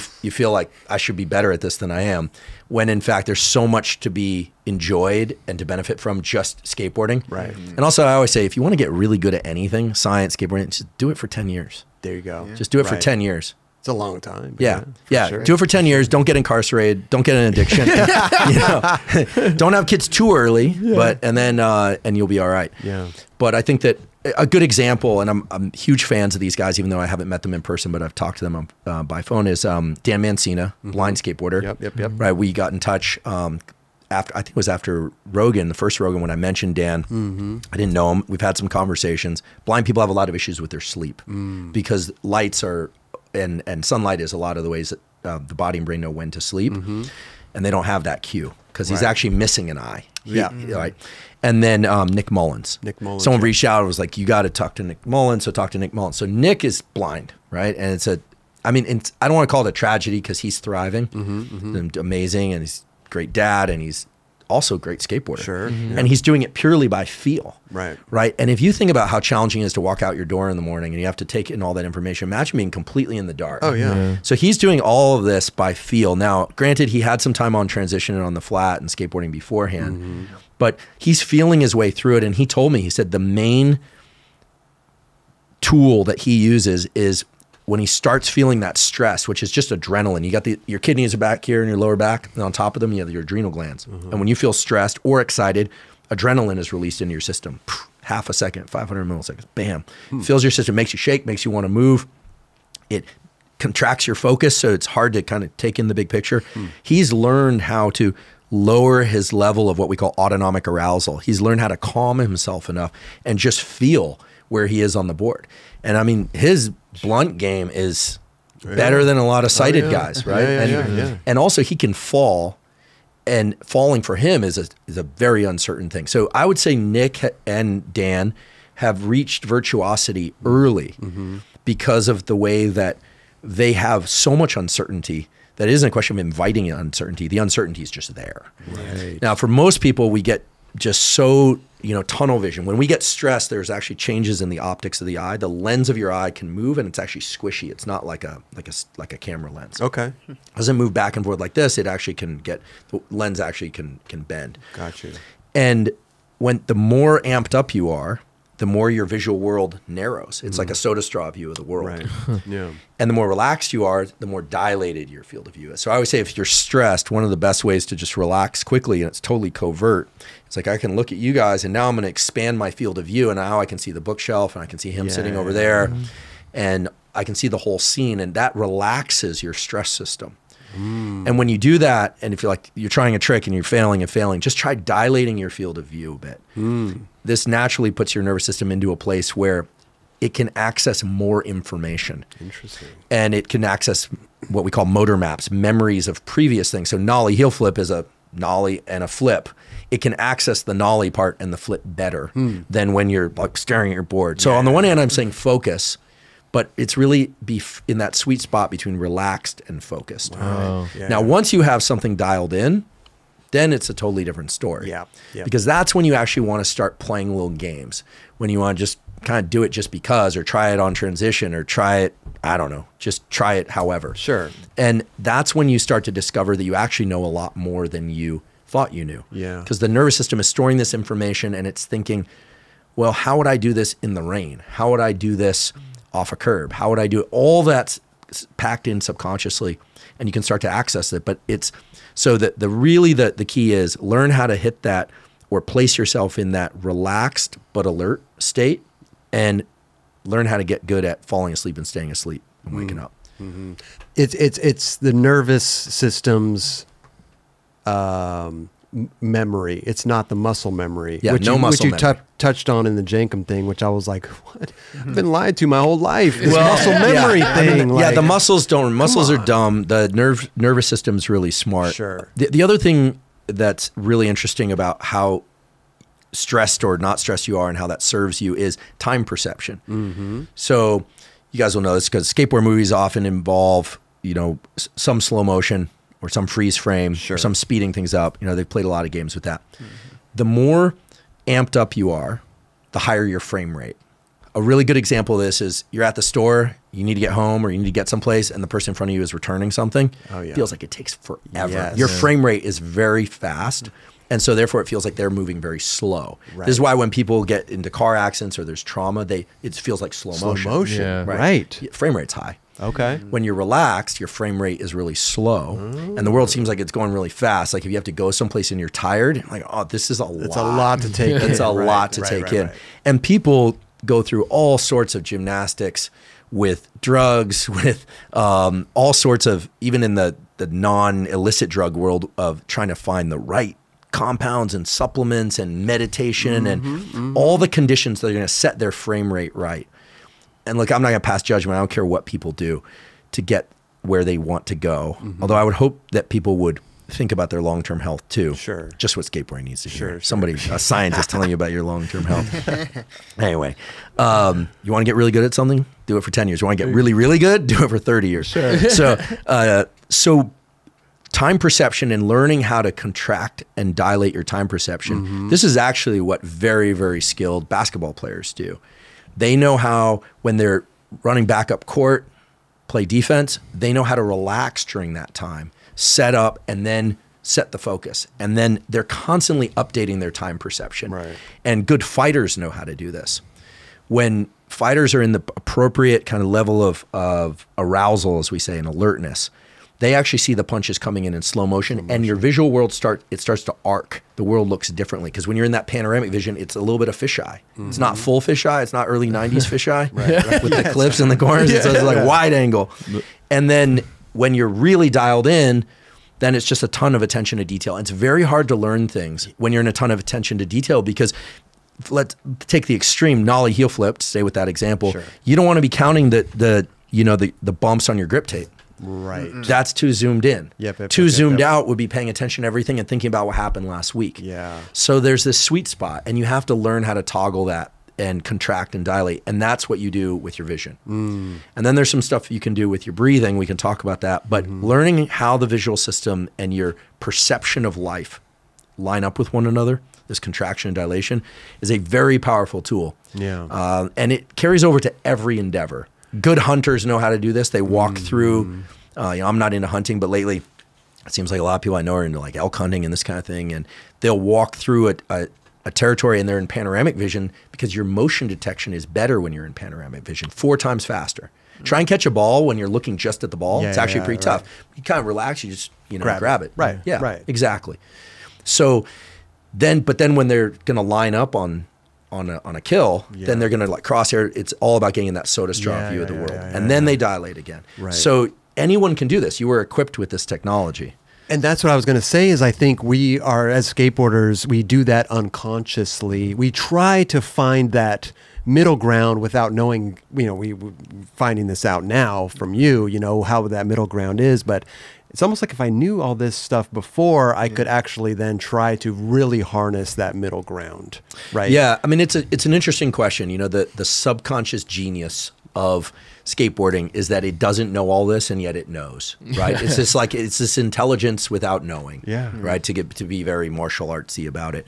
Um, and uncertainty is a big part of skateboarding. It's part of what makes most street skateboarding really beautiful compared to say vert skateboarding where Mm-hmm. there are guys like Danny who brought a ton of uncertainty. Clay Kreiner seems to the Oh my it's like who knows what that is. Right, it right, just right, is amazing. Um, and there are other uh, who's that guy Jimmy Wilkins. Jimmy Wilkins. can make so here's a, 100%. good example of somebody that can make things look up it's already amazing Mm-hmm. but it looks that much more amazing because he's clearly moving his body the way it should for his body type right right Yeah. you can tell when something doesn't line up right Yeah. and so i don't know i don't think about this enough i don't analyze skateboarding i'm not a skateboarding analyst but um, but uncertainty is a huge part of it. I mean, one of the reasons I, I confess I really enjoy the GX 1000 posts, it's insane. Yeah. Yeah. Oh, yeah. because Oh, the yeah. the un, they're inviting uncertainty in of the lady with the stroller, Yes. with that, that, Right. you know, Yeah. or the whether or not you're gonna die. I mean, I can't recommend anyone do what they do. Oh my God, I wouldn't be uh, in good conscience, Yeah. but Yeah. to me, they represent. The first time I saw GX 1000 and one of those hill bombs, I I literally thought these guys are 100% in their limbic brain, which is the kind of primitive part of your brain Mm. that just wants fear Mm-hmm. and enjoys that. And yet somehow they're in just enough control that you're right there on the edge watching. I mean, it's it's crazy. I don't sure. like it, bro. It- I mean, I can't encourage it. It's sort of like watching that Alex Honnold movie, the um, what was Rock that movie? Climber? Yeah, the Rock Yeah, climber, yeah, yeah, free yeah. solo, Free right? Solo. Yeah, yeah, yeah. You know he lives, and Yeah. it's still scary. Oh to my watch. god, I'm Yeah, watching yeah. that movie. Right? Right? I'm, I'm, It's insane. You're I love right. that movie. It's amazing. So movie. so good. It's so amazing. good. But even as skateboarders too, you're talking about bombing a hill. But even if we're skating out in the streets and there's like you know cars over here, there's huh, there's people walking by. Like there's so much madness going on, and yet we still try to have that ability to focus and try to meet that middle ground to land that trick. Yeah. You know. Well, I can't. What's interesting is there were no cell phones when I was coming up. Sure. And um, coming up makes it sound like I eventually arrived someplace. um, But you know, there were no cell phones, and, and you you didn't listen to a Walkman. That's what we had back then. You didn't have ear. Ear, No. ear- Oh, AirPods yeah, or anything. Right, right, right. So that I can't imagine when I saw, you know, and I the Olympics was a weird thing for me to watch. I enjoyed that it was there. Mm-hmm. I, I confess the, the the happiest I was about it was I think that that girl Sky Brown. Oh, was yeah, awesome because she to me embodied what it's really about. Oh, yeah. she was just having so much fun. Oh, she was and just amazing. it. Oh You think about neuroplasticity at her age. Think my about God. her skateboarding in 15 years. That's what. We, It's crazy. It's, a, it's, crazy. amazing. Yeah. I almost don't want to say it because I don't. I don't want to jinx anything about it. Sure, right. sure, I mean, sure, she's. sure. I mean, I think she's going to do for skateboarding, all skateboarding, male, female, Yeah, yeah, whatever. yeah, yeah, yeah. I, I truly believe this. I think she's going to do for skateboarding at least what people like Danny and them have done in terms of breaking new new barriers, right? Right, I mean, right. Danny's thing was to basically just just Go crazy. agree with the laws of physics, Sure. but then negotiate with them too, right? It was like, I'll tell you what, like there's gravity and there's this and there's velocity, but let's just negotiate at the margins. And he's done that. Right. And that's why it's, you know, it is what it is. Incredible. But I think she's also doing that because what she's showing is that even though she's small, even though she's a girl, like she she can do big stuff and make it look right. Yeah. Right. Yeah. And there are others too, but um, but yeah. So in the how do we get into the Olympics? Uh, we were talking about the Olympics. Um, Well, funny enough, what you- it's really quick with the Olympics, and you were talking about like having fun. Oh, yeah. doing stuff was the thing that I noticed about like I mean, especially with like the Nyjah thing, right? Like everybody, he went in there, everybody thought he was going to. yeah. See, I didn't win. I didn't track and- this that much. I mean, okay, yeah. so this is what I observed, right? but there was a, there was a there was a documentary or something being made about Uh, this is There true. is this one is true. yeah. Is there one still? Yeah, It's Ty still Evans. going. See, I think it's more. Oh, it's Ty. Yeah, Okay. he's working yeah. on it. I got so many stories on Ty. Ty, I promise not to use them Okay, against you. okay, okay. Yeah, you, you touched on a lot of people. I mean, you you know a lot of people in the industry, bro. Yeah. Yeah. Well, and I doubt uh, most of them would remember me, but th- I must say that uh, skateboarding has been very good to me. Even you guys bringing me here is really, I really, it's, uh, you know, I'm, I'm touched because it's like the skateboarding's been really good to me.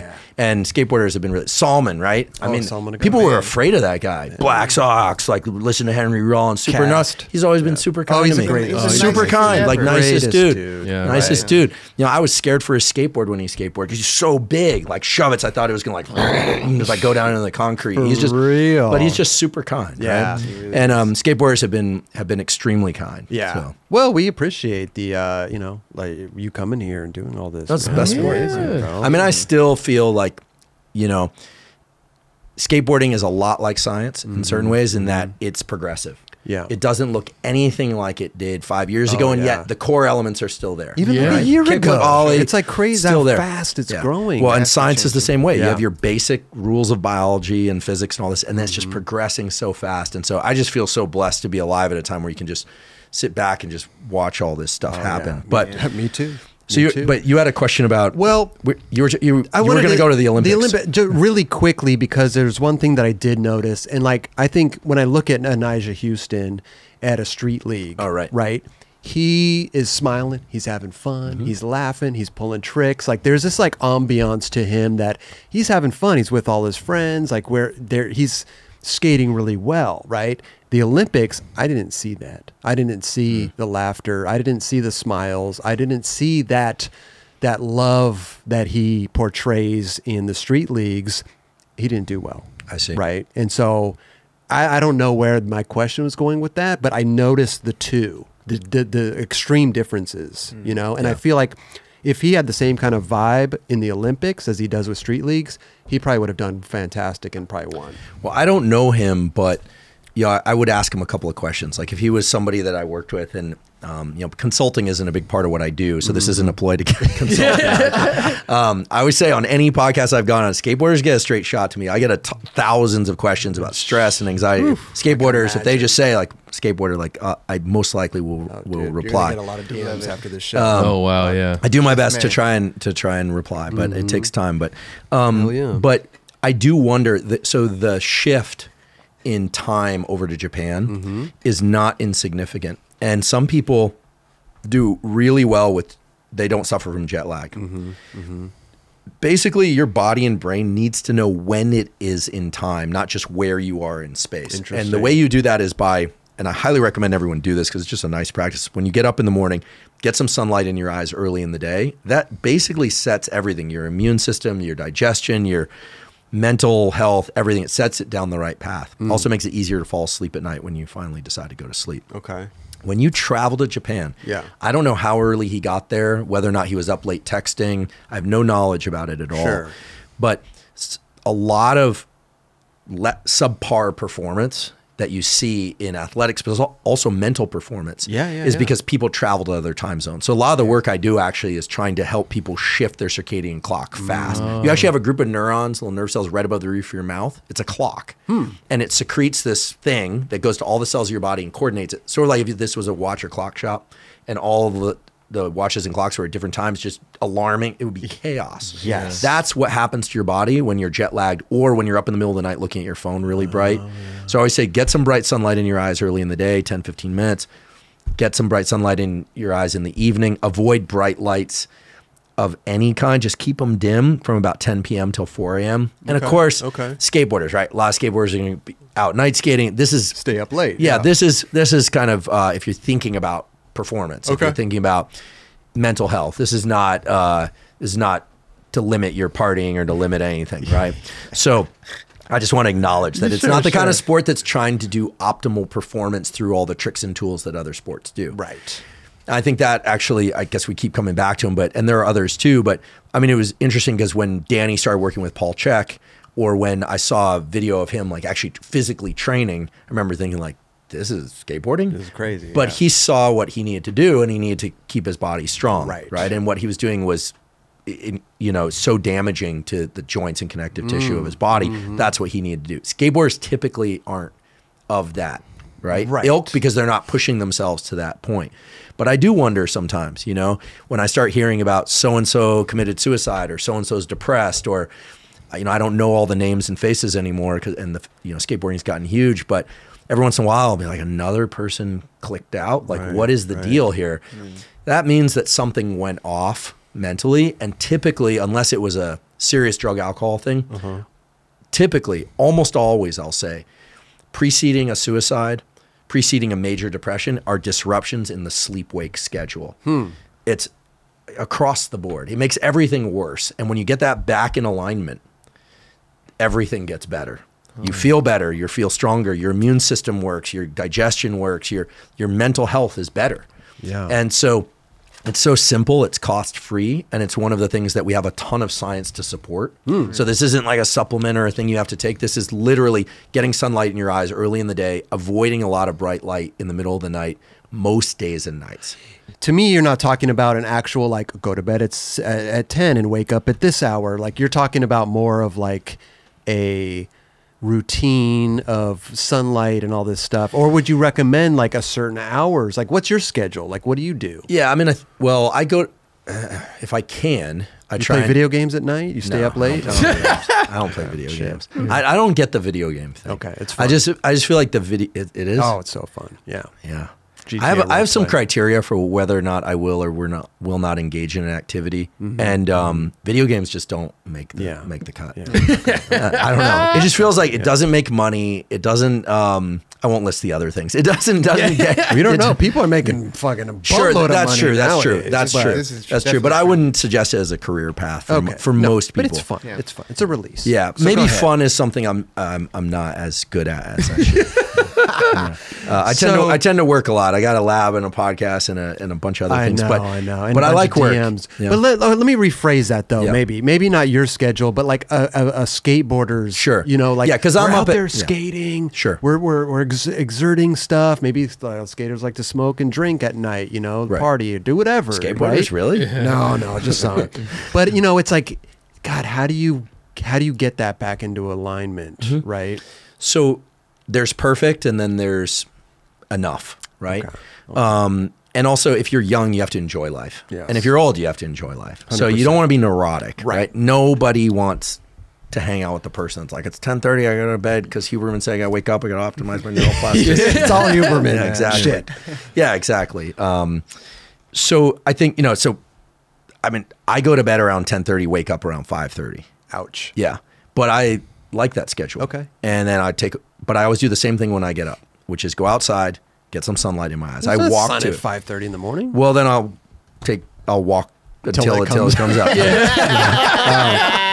Yeah. Are you drinking coffee? Get some right. Uh, I so this is to avoid the coffee crash. Mm. I highly recommend people wait 90 to 120 minutes after waking up. Okay. So well, let's start with this, and then we'll go to the sunlight thing. Okay, okay, Um, because I'm going to get teased because, I, and this is this is the thing about skateboards, right? I acknowledge that the life the life that is a beautiful life of skateboarding is not about regimen. It's about a lot of spontaneity. There you go. Right, spontaneity Carefree. is you know Carefree, be carefree, and so. I would never, ever, ever want to short circuit that. Sure. Right, I never want to be that guy. Um, but for people that feel like they're veering off, And we were talking about the mental health issue That's- too. And that's a real thing. Yeah, Right. I mean, I can't tell you how many people contact me saying, you know, oh, I'm a skateboarder and my friend killed themselves or this or major depression or anxiety. And, Mm-hmm. and I think one thing that makes skateboarding so special is that there isn't the oversight usually of parents and coaches. Mm-hmm. But as a consequence, the peers, your peers, your friends, basically have to identify, help you identify that stuff. And I look back, I, and we'll go back to this this uh, light uh, coffee thing in a 2nd but but I look back and I think about all of the unfortunate things, the losses of people along the way, and I think you know, not all of them, but a lot of them could have been avoided. Right. because people sh- everyone shows up with their own baggage. And look some people are just happier. Their neurotransmitters are certain way when they're born they grow up in a house where might not have been perfect but there's a resilience there mike blabac mm-hmm. okay mm-hmm. definitely did not have a perfect childhood i don't want you know i only know what i know but you know he's had his hardships but he there's a there's an internal stability to mike hmm. right that sometimes people don't have Right. right? I mean, he's also one of the hardest working people I know. Hmm. He's always a half hour early, Yep. right? There's nothing. It, I always t- tell them if there's any anxiety in there, no one can detect it. Mm-hmm. And then there are other people, and they're just barely managing, right? And everything's a mess. And then you know, so the point is that skateboarding is important for a lot of reasons, but one of the reasons it's, it's important is that it governs itself. Mm-hmm. In fact, the the bit of work I've done with special operations, SEAL teams, and some Canadian special operations, the communities actually remind me a lot of one another. Okay. It self regulates. Yes, people have their ideas from the outside, but if you are part of that group, there's an understanding, and it manages itself for better or for worse. Gotcha. Right? Mostly for better, but there's a lot of dysfunction that can slip through. Hundred percent. That's to me is skateboarding. Mm. And so there are a couple of things that if one, for instance, is feeling an afternoon crash, like if you're just ugh, like despite getting decent sleep, you're just crashing in the afternoons. A, a nap is a good thing. 20, 30 love minutes. By the way, so neuroplasticity and learning mm-hmm. is f- is better and faster if you take a 20 to 30 minute nap in the afternoon. Okay.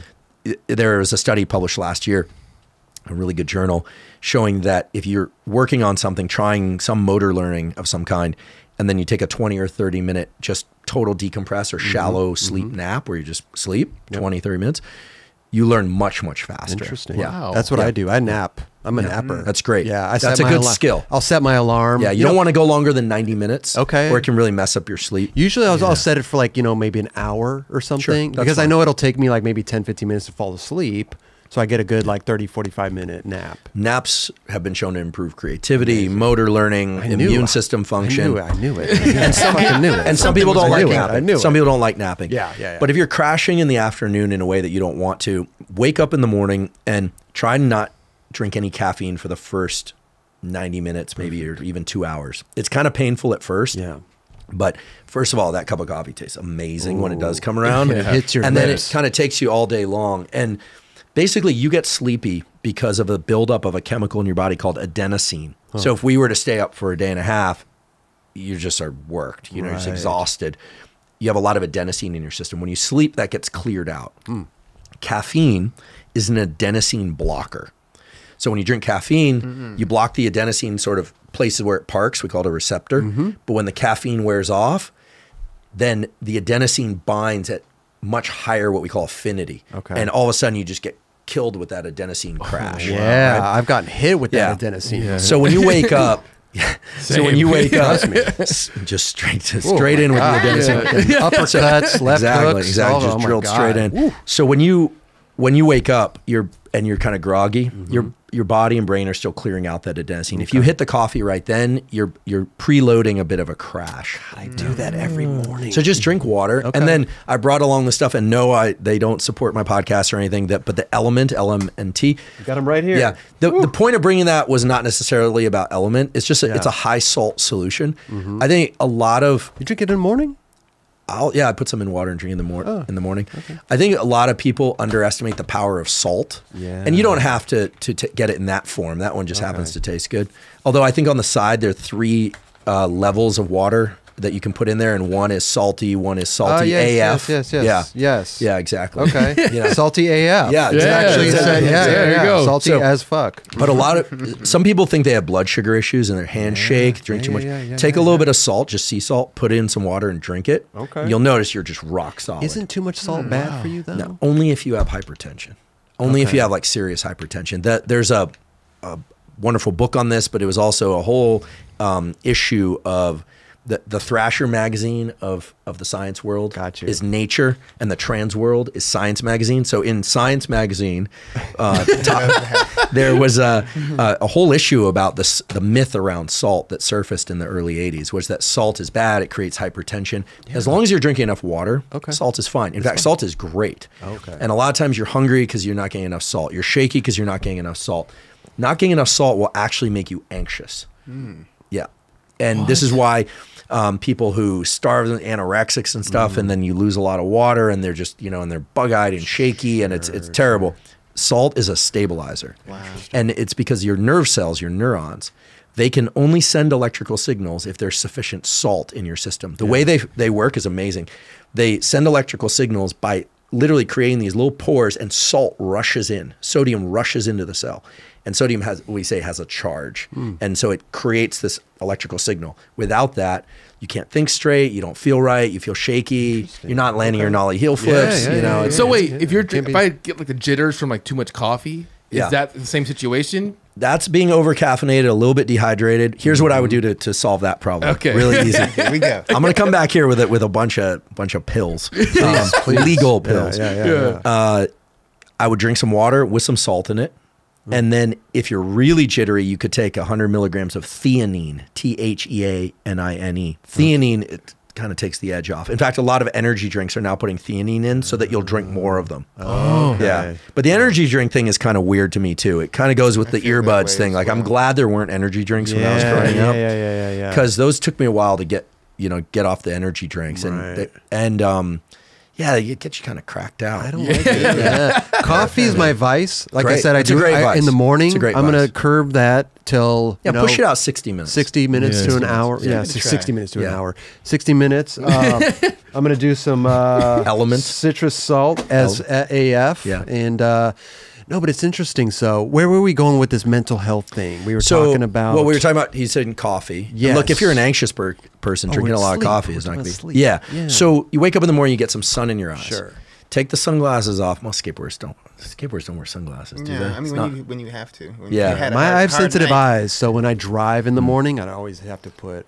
right. But that's but just yeah, but not just get up and go outside for a few minutes. Take Yeah, your yeah. coffee outside or whatever. Okay. Take it. You know, even if you're looking at your phone, get that sun in in your eyes. It really does make it.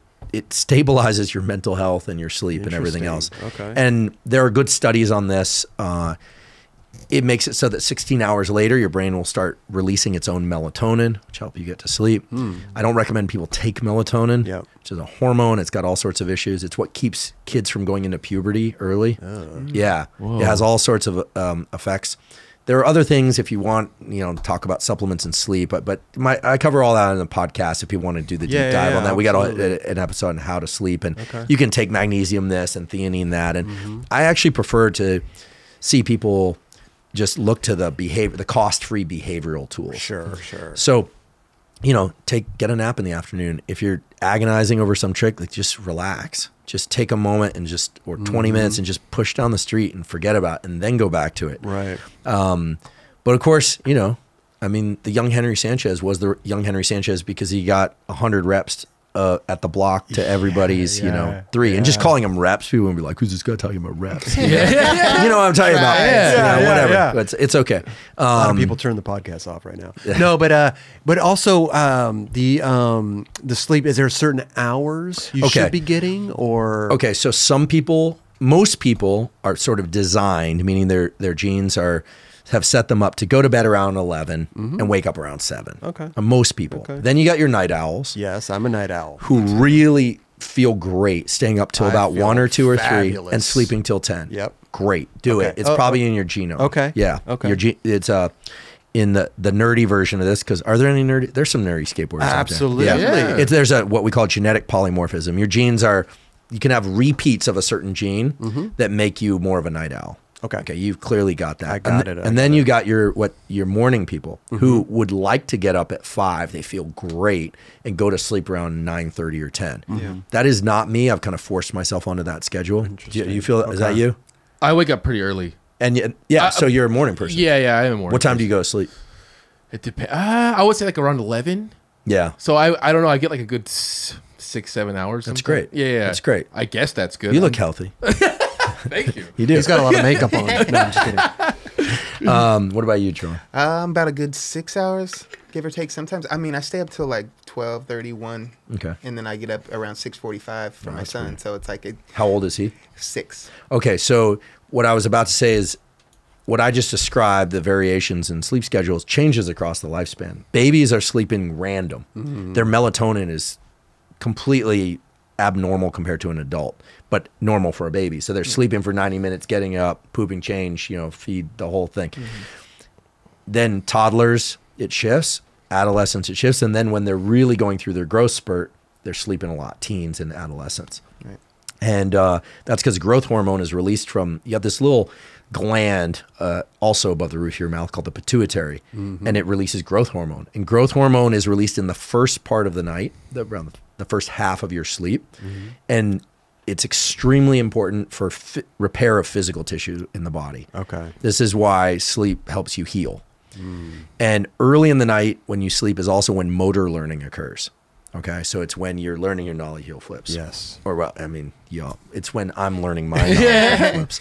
Uh, and the second half of the night is when you have these really intense dreams, and that's a period of sleep when we call REM sleep, rapid eye movement yeah. sleep, where people's eyes are darting back and forth, mm-hmm. but you're completely paralyzed. It's what we mm. call atoni- atonic or atonia. Hmm. And the second half of the night is when you're working through your emotional baggage. It's literally like therapy or trauma release in sleep. So as the, mm-hmm. the hormone we talked about before, adrenaline, cannot be released into the body during REM sleep. So you're having these really intense dreams all about these emotional things that happen. And the brain during that time is also just playing games, sampling all sorts of things. We could probably even plant something. So like this cap, let's see, I bet if we pay attention, what does it say? Salty. salty, there's a good chance that you might have a dream about this because we kind of cued yeah, it, right? yeah, yeah, so yeah. in your REM sleep, Probably get an ad for it on my phone too. yeah, exactly, exactly. The the uh, in your sleep, your in your REM sleep, your brain has to make a decision. Is there an emotional significance to this? And so there could be a whole thing about this. I'll see you all with salty tonight in the in dreams. But sometimes right? we don't remember our dreams. Right. So you'll wake up, but during this time, your your body is and your brain is having this intense experience, but you can't move and you mm-hmm. can't release adrenaline. Occasionally, you will wake up from one of these dreams, Yep. and you, all of a sudden you'll just be breathing hard, and it's like, whoa, what was that? That was all of a sudden your adrenaline kicked in and woke you up. So. If you can't remember your dreams, typically the thing to do is just stay with your eyes closed for a few minutes early in the morning. Hmm. Also, the moment you pick up your phone, Yeah. you're bringing in new sensory information. I will say this if you can take five minutes or 10 minutes in the morning and not look at that thing, what's great is that all this subconscious processing that you did at night, all this learning, it's actually available for you to make use of. You will often get your best insights, your best ideas, all sorts of stuff can come to you in that first few minutes after sleep. Even if you're just getting up, doing the dishes, you know, whatever, making coffee, if you're drinking coffee early, mm-hmm. taking care of your son. Mm-hmm. If you immediately look at your phone, you short circuit that whole process. You're oh. bringing in new sensory I information. I remember Andrew Reynolds saying something about that. He's like, I, I wanted to cut off, yeah, you know, going right to my phone in the morning. Yeah. And he's like, it's been wonderful. Like I'm like I'm I'm having like a wonderful morning. You know what I mean? It's not like you're having this anxiety now by just grabbing your phone right, Mm-hmm. Right. away. Because Yep. sometimes when you grab your phone, you can get pissed off by something you see. Instantly, yeah. Instantly. Or you Yeah. can like it. You flip it There you on, and the guy's throwing up a story, and he's doing something sick, Right. right? And but and that's great, but that's going to be there no matter what, Exactly. right? It's going to be there no matter what. And you know, the, the nervous system, it's really it's customized to your experience, and it's always trying to offer you up things. I mean, it is you, but it's trying to offer you up these insights and learning, and and it sends these subtle cues that if you pay attention, you're like, oh yeah, I should contact that person, or I'd want to do that, or you know. And the moment you're bringing in information, that all gets shut off. no doubt. So you can learn faster. You can hmm. remember sometimes you'll be halfway through your breakfast and all of a sudden something from your dream pops out. You're like, oh, that's right. Yeah, Wonder yeah, what yeah, that was it's about. That was about. If it was emotionally intense, it was probably in your REM sleep. If it was kind of weird and kind of, Right, that's right, the right, early phase of the night, the slow wave sleep. Dude, what about? Dude, I have plenty questions about dreams, but like deja vu. Oh yeah, What? How does that even exist? sure. Like, Yeah, I can explain how deja vu works. Yeah? Um, this is now understood uh, by neuroscientists. So, and this is kind of an eerie thing about the, the nervous system. So, you have an area of your nervous system called the hippocampus. Mm-hmm. Remember that movie Memento? Where the guy had damage to his hippocampus, he called it. Yeah. So, he was always tattooing all that stuff on him. And, and the movie ran backwards. I'm still not sure that movie made sense. I don't know. I feel like if I was, right, yeah. it was very bizarre. Yeah, it was a bizarre movie. So the hippocampus is where you establish memories. And then it basically sends that stuff out to the rest of the nervous system and it deals with it elsewhere or it just discards it. I mean, a lot of what happens in sleep is forgetting all the stuff you want to you know, you don't want to remember everything. You don't want to remember this thing, and now you do. Yeah. Like, what, what a waste. Do you remember your childhood phone number? Um, I've had my fa- yeah, of course. Do you? Yeah, yeah, yeah, Okay. yeah. Well, because I've I've only had like two. I Yeah. have I have the same number cell phone. Oh, that okay. I've I was when gonna say got still it, exists. And my mom, uh, my where I grew up. Oh, they're still same- there. Same, Okay. same shit. Well, I was gonna say usually if someone remembers their childhood phone number, it's a complete waste of brain space. That phone doesn't even exist. That phone number just Right. doesn't exist. Yeah. Very hard to forget that early stuff. But that's a lot of what happens during sleep. Okay, so there was an experiment that was done, really cool experiment, where they looked at the firing of neurons. Think about neurons as they're just nerve cells, and think about them as keys on a piano. The sequence that those keys are played and the intensity that they're played is the song, mm-hmm. right? You wouldn't say that a particular song is, you know, the E flat is a song. It's Yeah. the E flat that came after A, whatever. I'm not a musician, obviously. yeah, yeah, yeah. Okay. A memory is essentially just a sequence of neurons firing, just like a sequence of keys being played on a piano. Okay. But what's wild is that a few years ago, there were techniques developed that would allow neuroscientists to play the, the exact keys that they wanted to in any sequence they want. So let's say that your memory of what's a good memory of skateboarding? Just throw out one. Uh, just um, uh, my first kickflip. First kickflip. Yeah. So that memory is embedded in your brain. Yeah. That memory, whether or not you're visualizing it or not, is just a particular sequence of neurons firing. Mm-hmm. What they did is they took let's just use this example. They took that that set of neurons, let's say 10 neurons, and the order that they fired, and they decided to just start banging on all those at the same time, electrically, Yeah. firing them, or playing them backward. And what they found is it leads to the exact same sense of experience. Oh wow. So this is one of the fundamental mysteries about the brain is like what is the brain what is the code? Right? What is the code? Is it the sequence that they're played in? And it seems to be it's the collection of neurons, but not necessarily the order that they're firing in. Now this is super important for learning, and there's actually a really important tool that comes out of this for learning. When you're let's say with nollie heel flip, because you must feel sorry for me that I never really I don't I made a nollie heel flip. switch heel, switch heel flip. Let's let's reverse it. Let's turn it a switch heel flip. Switch heel flip to me. Oh, we can go kickflip. Eh, yeah, yeah. I mean, yeah. What yeah. about a hard flip? Uh, No, it never had when the hard flip. hard flip back tail. Never had no, the hard hard flip flip back tail. No, no, no, no. 360 flip nose blunt. No, and the people that knew me were just gonna be like, definitely not. Like they're gonna call bullshit on Huberman if I try and say any of that. I had a decent, just nose blunt. I- Oh, that's sick. decent. There That's a great go. trick. I'll be really That's a great honest. The, the one trick that I will live and die by that I absolutely love that uh, really just mostly found in my 30s when I finally had the strength to do it. Just a proper frontside grind on pool coping. Oh. Like I, I that if I'm dying, there are a few things I'll remember. I won't mention the others, but that's definitely up there. That's up the there. List. It's Yeah. it's right there next to the other things. So. So basically, when you try and learn something, there's this focused, relaxed state that you want to be in, and then you want to go into sleep and a nap, ideally, if you can. Mm-hmm. But there are a bunch of papers that have talked to what are called talked about what are called gap effects. So I just said a moment ago, you want to get as many repetitions, just repeats of something. Repetition makes sound like in the gym, Yeah, but yeah. repeats of something. Heel flip, nollie heel flip, not, trying it, trying it, trying it till you make it. Sure. However, if you pause and do absolutely nothing and kind of turn off your brain, not text message, not think about the nollie heel flip for about 10 seconds every few minutes or so, what they've discovered by doing brain recordings during motor learning is that during those pauses, the same neurons that are involved in generating the attempts fire but 20 or 30 times faster and in reverse. Now you go, what the hell is going on? This would be like you're trying to learn a song mm-hmm. and then you stop trying to learn it and then you're it just naturally is happening 20 or 30 times over. Hmm. So you're getting practice without practicing. It's hmm. amazing.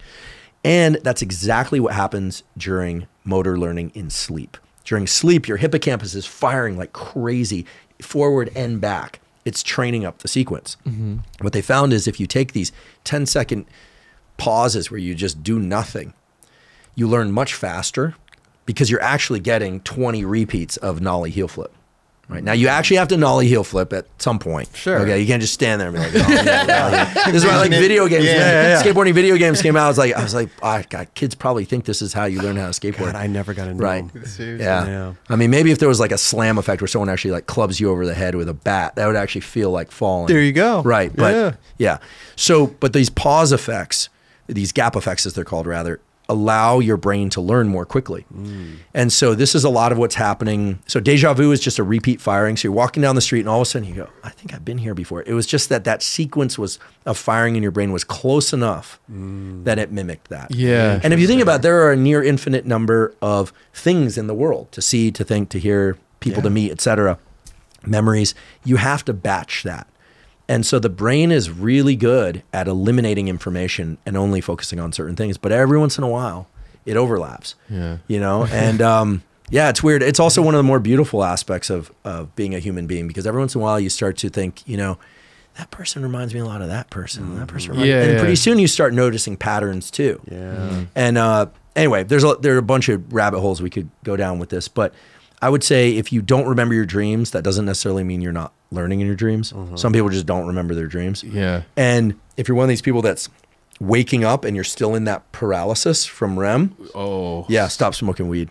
Well, I, I okay, I don't smoke. We talked about the Nah, sleep paralysis. I, Sleep paralysis. because of me, because I smoke weed, and that's why I tend. I think that I can't remember some of my dreams sometimes. So mm-hmm. No, but we're, I'm talking about like sleep paralysis, where you wake up and you're like, I can't move, Right. and so I'm. that's more common in pot smokers. And uh, that's never happened to me. never happened to you? But it happens to me. It happens to me quite a bit. I don't smoke at all. It happened to Roger too, right? You don't Yeah. smoke Yeah, it happened to me in Dubai. in Dubai. Yeah. Yeah. Yeah. Where jet- you're just the jet sitting there lag, and you're yeah. just you can't move at all, and you're just like stuck, kind of. Yeah. Yeah, you wake up and then it's it's it's And you feel like there's someone terrifying. there. And then you jolt and that and then you can sort of get yourself out of it.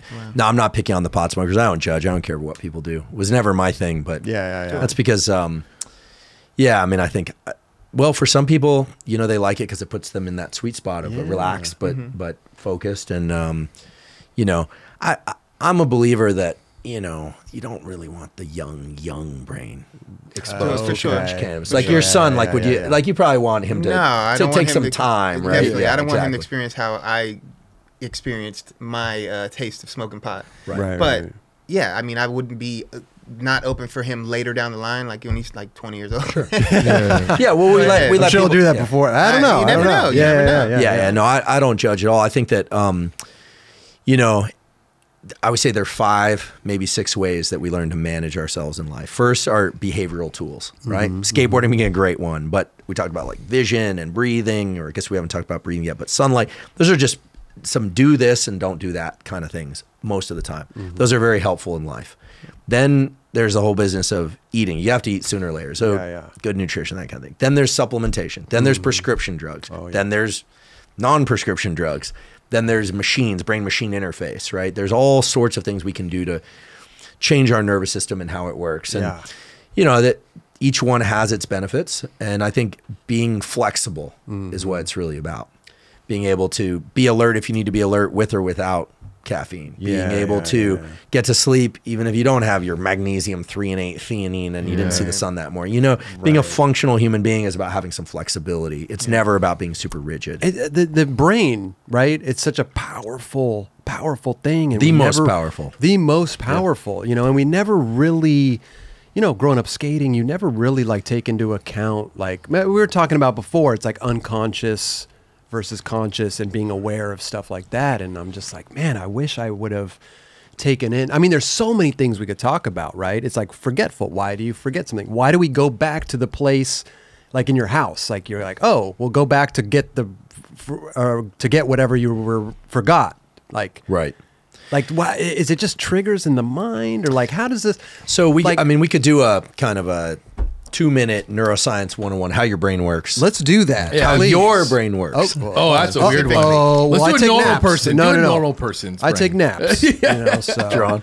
John yeah, seems let's like a pretty even keel guy. I like that. Yeah. Okay. Yeah. Have you always been like this? Yes. Yeah. Yeah, yeah. You have a big, So- big family, small family. S- small family for the most Yeah. part. Yeah. You've Live- always been like even.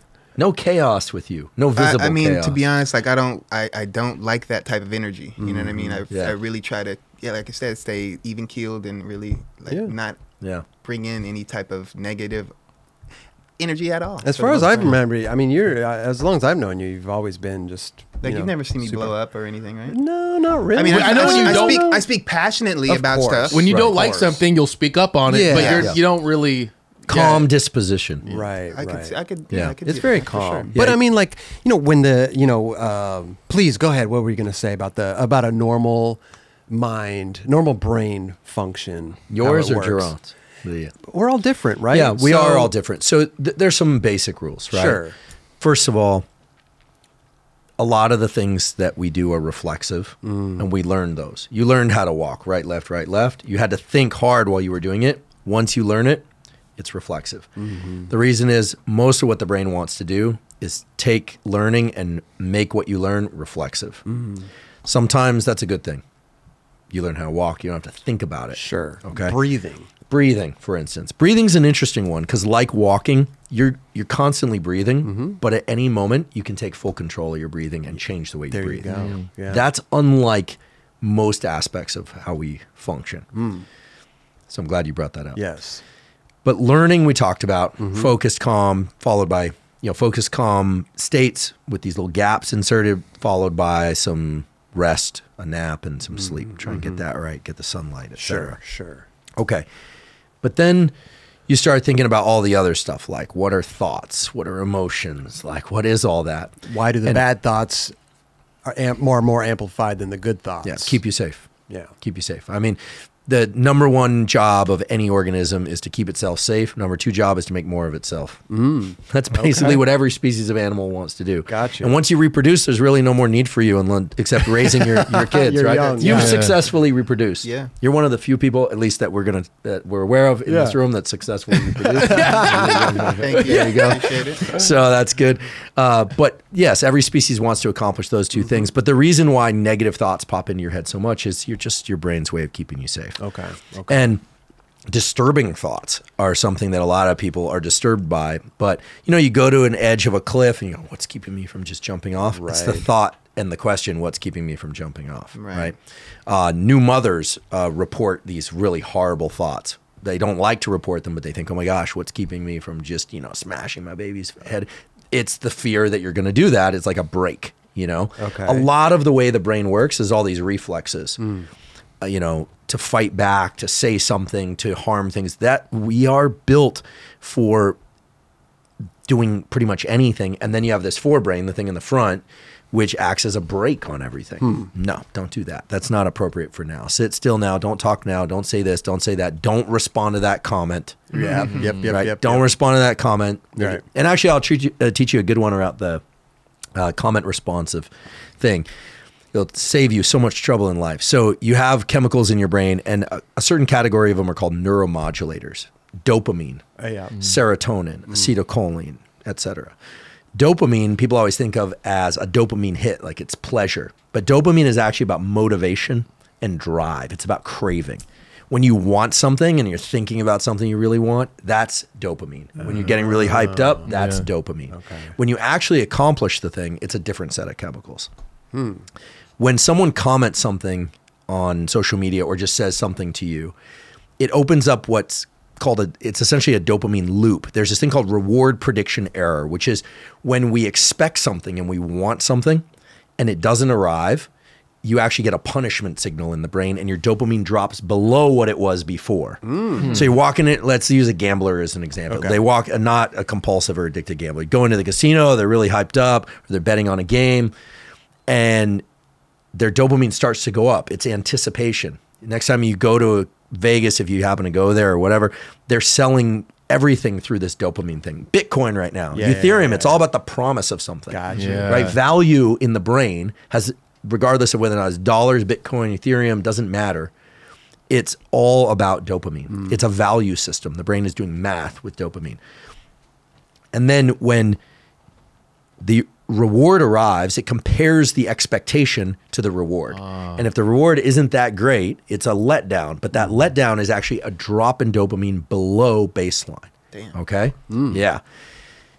When someone says something aggravating or is trying to trigger you, it sets in motion this dopamine circuit. And when you respond, no matter what you do, it actually gives them a reward. It Right. rewards them. When you refrain from that, it actually sends them below baseline. Perfect. So exactly, just exactly, Yeah. exactly, Yeah. Yeah. exactly. Just stoic, you know, and it's hard to do, right? Because we get wrapped in. Sure. But so never respond, Nah, to- to- or right. delete Yeah. it. Delete Just- it. yeah, or delete it, right? Yeah. It's it's your account. You can delete it. Well, because you that those 500 great comments are great, and then that one you're just like ah hyper focused on, right, You know, just delete. it. yeah, yeah, exactly. I never Yes. respond to it Or just right. Neuroscience says that your dopamine is about to drop below baseline. because it, it's Tag at also Huberman Lab. But it, there you go, there you go. But it's also a a, a you know a, a comment battle that you will never win as right. well. and you're you know? and you're shouting back and forth Yeah. through a through an internet tunnel. Yeah. and uh, it's just um, it's just no good. And Yeah, and so and so the the win is actually in not not responding at all, Mm-hmm, and uh, it really is. And this dopamine system is actually super powerful. I mean, not to get into the addiction thing, but every time you anticipate something that you like, anything doesn't matter if it's sex, skateboarding, porn, video games, ice cream does not matter. Okay. Okay. The dopamine gets released, and then afterward, there's a sort of a compensation. It's like it's like pleasure goes up, anticipation goes up, and then there's a little bit of a pain system that gets kicked in afterwards. This is the work of a colleague of mine at, at um, Stanford named Anna Lembke. She works on addiction. She actually runs the dual diagnosis uh, addiction clinic there. She has this great book called Dopamine Nation, all about this. Which and so it tips back, and then what happens is that scale doesn't ever really level out again. Okay, and it means that the next time you're pursuing this thing, you have to go a little bit further, a little bit more, a little bit more. Then the the pain side tilts up a little bit higher, a little bit higher. Pretty soon, you're doing the thing over and over again, and you're not getting any pleasure from it. At that point, that's addiction. Okay. Okay uh, right. the, the solution to this is either a don't engage in the thing that much right? You know and that's particularly important for drugs of abuse like cocaine amphetamine. Those things ruin lives right? Mm-hmm. Heroin everybody agrees. This is a bad idea right?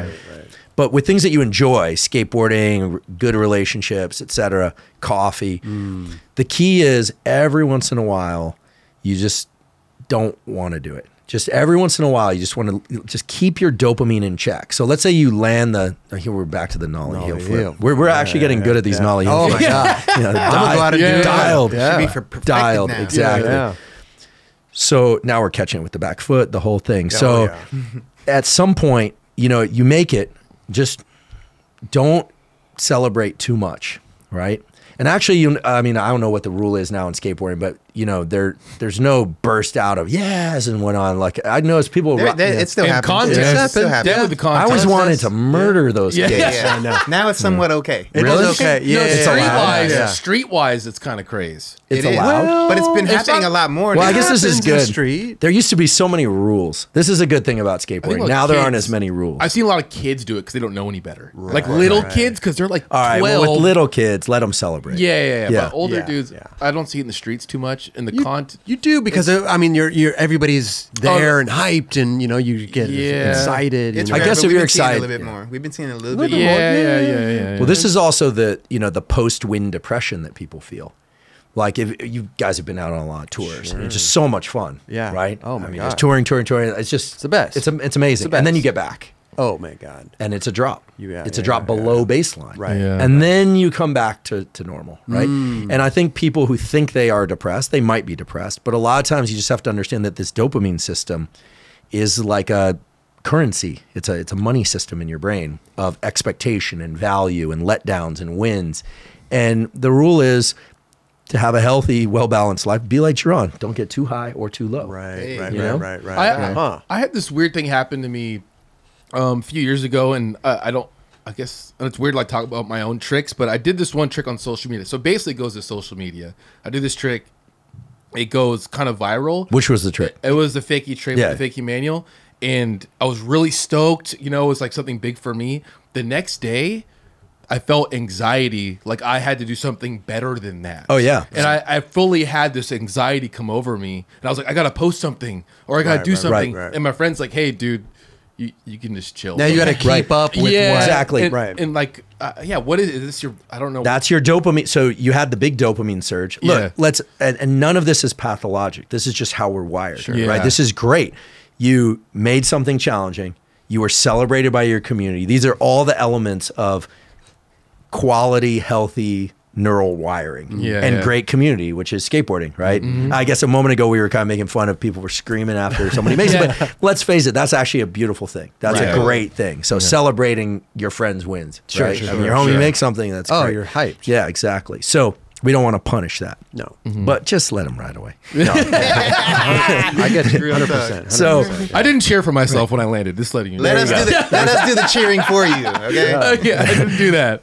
so the so after that dopamine surge, then there's a compensation in your body. Just like being awake too long, you need to be you need to sleep. There's mm-hmm. this strive for homeostasis, as they mm-hmm. call it. And so we call it the the pain system kicks up, and it does. It creates this anxiety and this desire for more. This is how people end up gambling addicts. This is how, you know, you you party with people and then you wake up in the morning and somebody's still at it. And you're Yeah. like, what is going on here? And you know, some of that has a uh, genetic predisposition. Some of it doesn't. Some of, people always like to think, "Oh, what's the trauma that drove them to this?" There's there is that sometimes, but sometimes no. A lot of it is just trying to regulate that dopamine system. So the thing to do that's really great is you still have that win. It is healthy now and again to just think about that win and how good it feels. I bet you if you think about it now, it just feels good in your body, mm-hmm. right? You can just you feel energized by that's dopamine. Mm-hmm. And dopamine is actually made from some of the same chemicals that epinephrine is made from, adrenaline. Oh, oh, yeah. And so dopamine and adrenaline and the hormone testosterone, they all hang out together. They're homies. Mm. okay. and after they hang out and go home, then you have the molecules like serotonin, oxytocin. They're more about mellow and mm-hmm. chill. Mm-hmm. And learning how to go back and forth on that seesaw is really important. Hang out with dopamine, right? Hang out with dopamine, epinephrine, and testosterone because you do get that surge. It makes you feel capable. Yeah. This is a big part of our evolution as a species, feeling capable of killing more of whatever species you were trying to kill and eat. Right. Sure. Uh, more mates, take over more towns, whatever it was. Yeah, yeah. Right. It's a win, and it doesn't matter what the win is. There's only one currency of winning in the nervous system, and that's dopamine. Right. There's no debate about what currency, which cryptocurrency, dollar, euro, yen. It doesn't. It doesn't work like that. It's only one. It's dopamine. So you just have to give it some time. And people who are really functional and happy in life and high performers are people that learn how to go back and forth on this seesaw. Hmm. So they get the big win and then they just chill and they know how to chill and they know how to enjoy that because there's a whole other state of celebration that's with the things you have in your possession. You don't feel like you have to do anything. You're just good right where you are. Mm-hmm. And so, and I'm not making this up. This isn't psychology, this is biology. So dopamine is all about pursuit and excitement for things beyond the reach of your skin. Mm-hmm. It's out there. It's something you're going to do that you're excited about. Right. Serotonin and that system is more about being really good just in the confines of your own skin. It's just holding your son when he was a little baby, just feeling like this is amazing. your brain's flooded with oxytocin. It's just you don't need him to do anything. Totally. And he can feel that. Actually, we know that babies, they've done brain imaging of babies and and parents or friends when they hang out, that feeling like, yeah, like this is amazing. Yeah. That feeling of bonding is a mutual release of the same chemicals. Mm-hmm. And it's it's an amazing thing. And so just learning how to go back and forth and just expecting that that's going to happen. Yeah. And I think people get really hungry for more dopamine. Nothing wants dopamine more than dopamine. Yeah. And so and so when you find yourself scrolling social media and it doesn't feel good, you're like, why am I doing this? Why did I pick up the phone? There are two reasons. One is that the behavior has become a little bit reflexive. It's sort of like if I had right now we're no phones out, but if someone picked one up, we would all do it. It's just kind of reflexive, yeah, yeah, right? yeah, that happens. But another part of it is that you do get dopamine hits from it. I mean, I saw that kid do the impossible 50-50 down the oceanside hub and I was like, whoa, that's a dopamine hit. So it felt so good. And I didn't even do it. Right. Yeah. Amazing. Imagine, Yeah. imagine how it felt for him.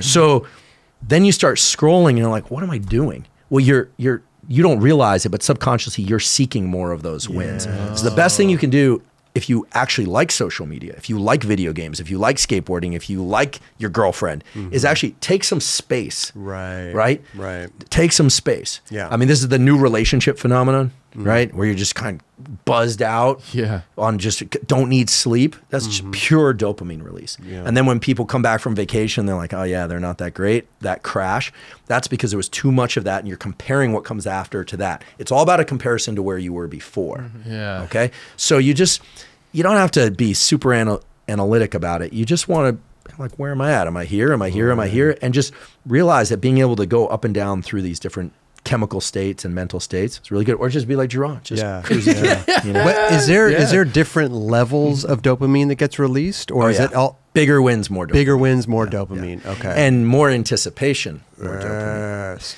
Yeah. But I know what you're saying though. It's like everything in in moderation, right? That's what they say, kind of. Yeah, right? with peaks, including Sure. moderation. Because, Everything like- in moderation, including moderation. You, oh yeah, because we talked about like the video game thing, right? And it's like cool. Like I play some video games, but I can't do it all the time, right? Do- I can you- play like maybe twice a week, maybe but are three you times. right? So you can set So- up constraints. Some people do that. Right, Look, I mean, addicts who deal with this, they're like calling the hotel before and get rid of the mini bar, Yep, and yep, yep, take away the TV and this whole thing.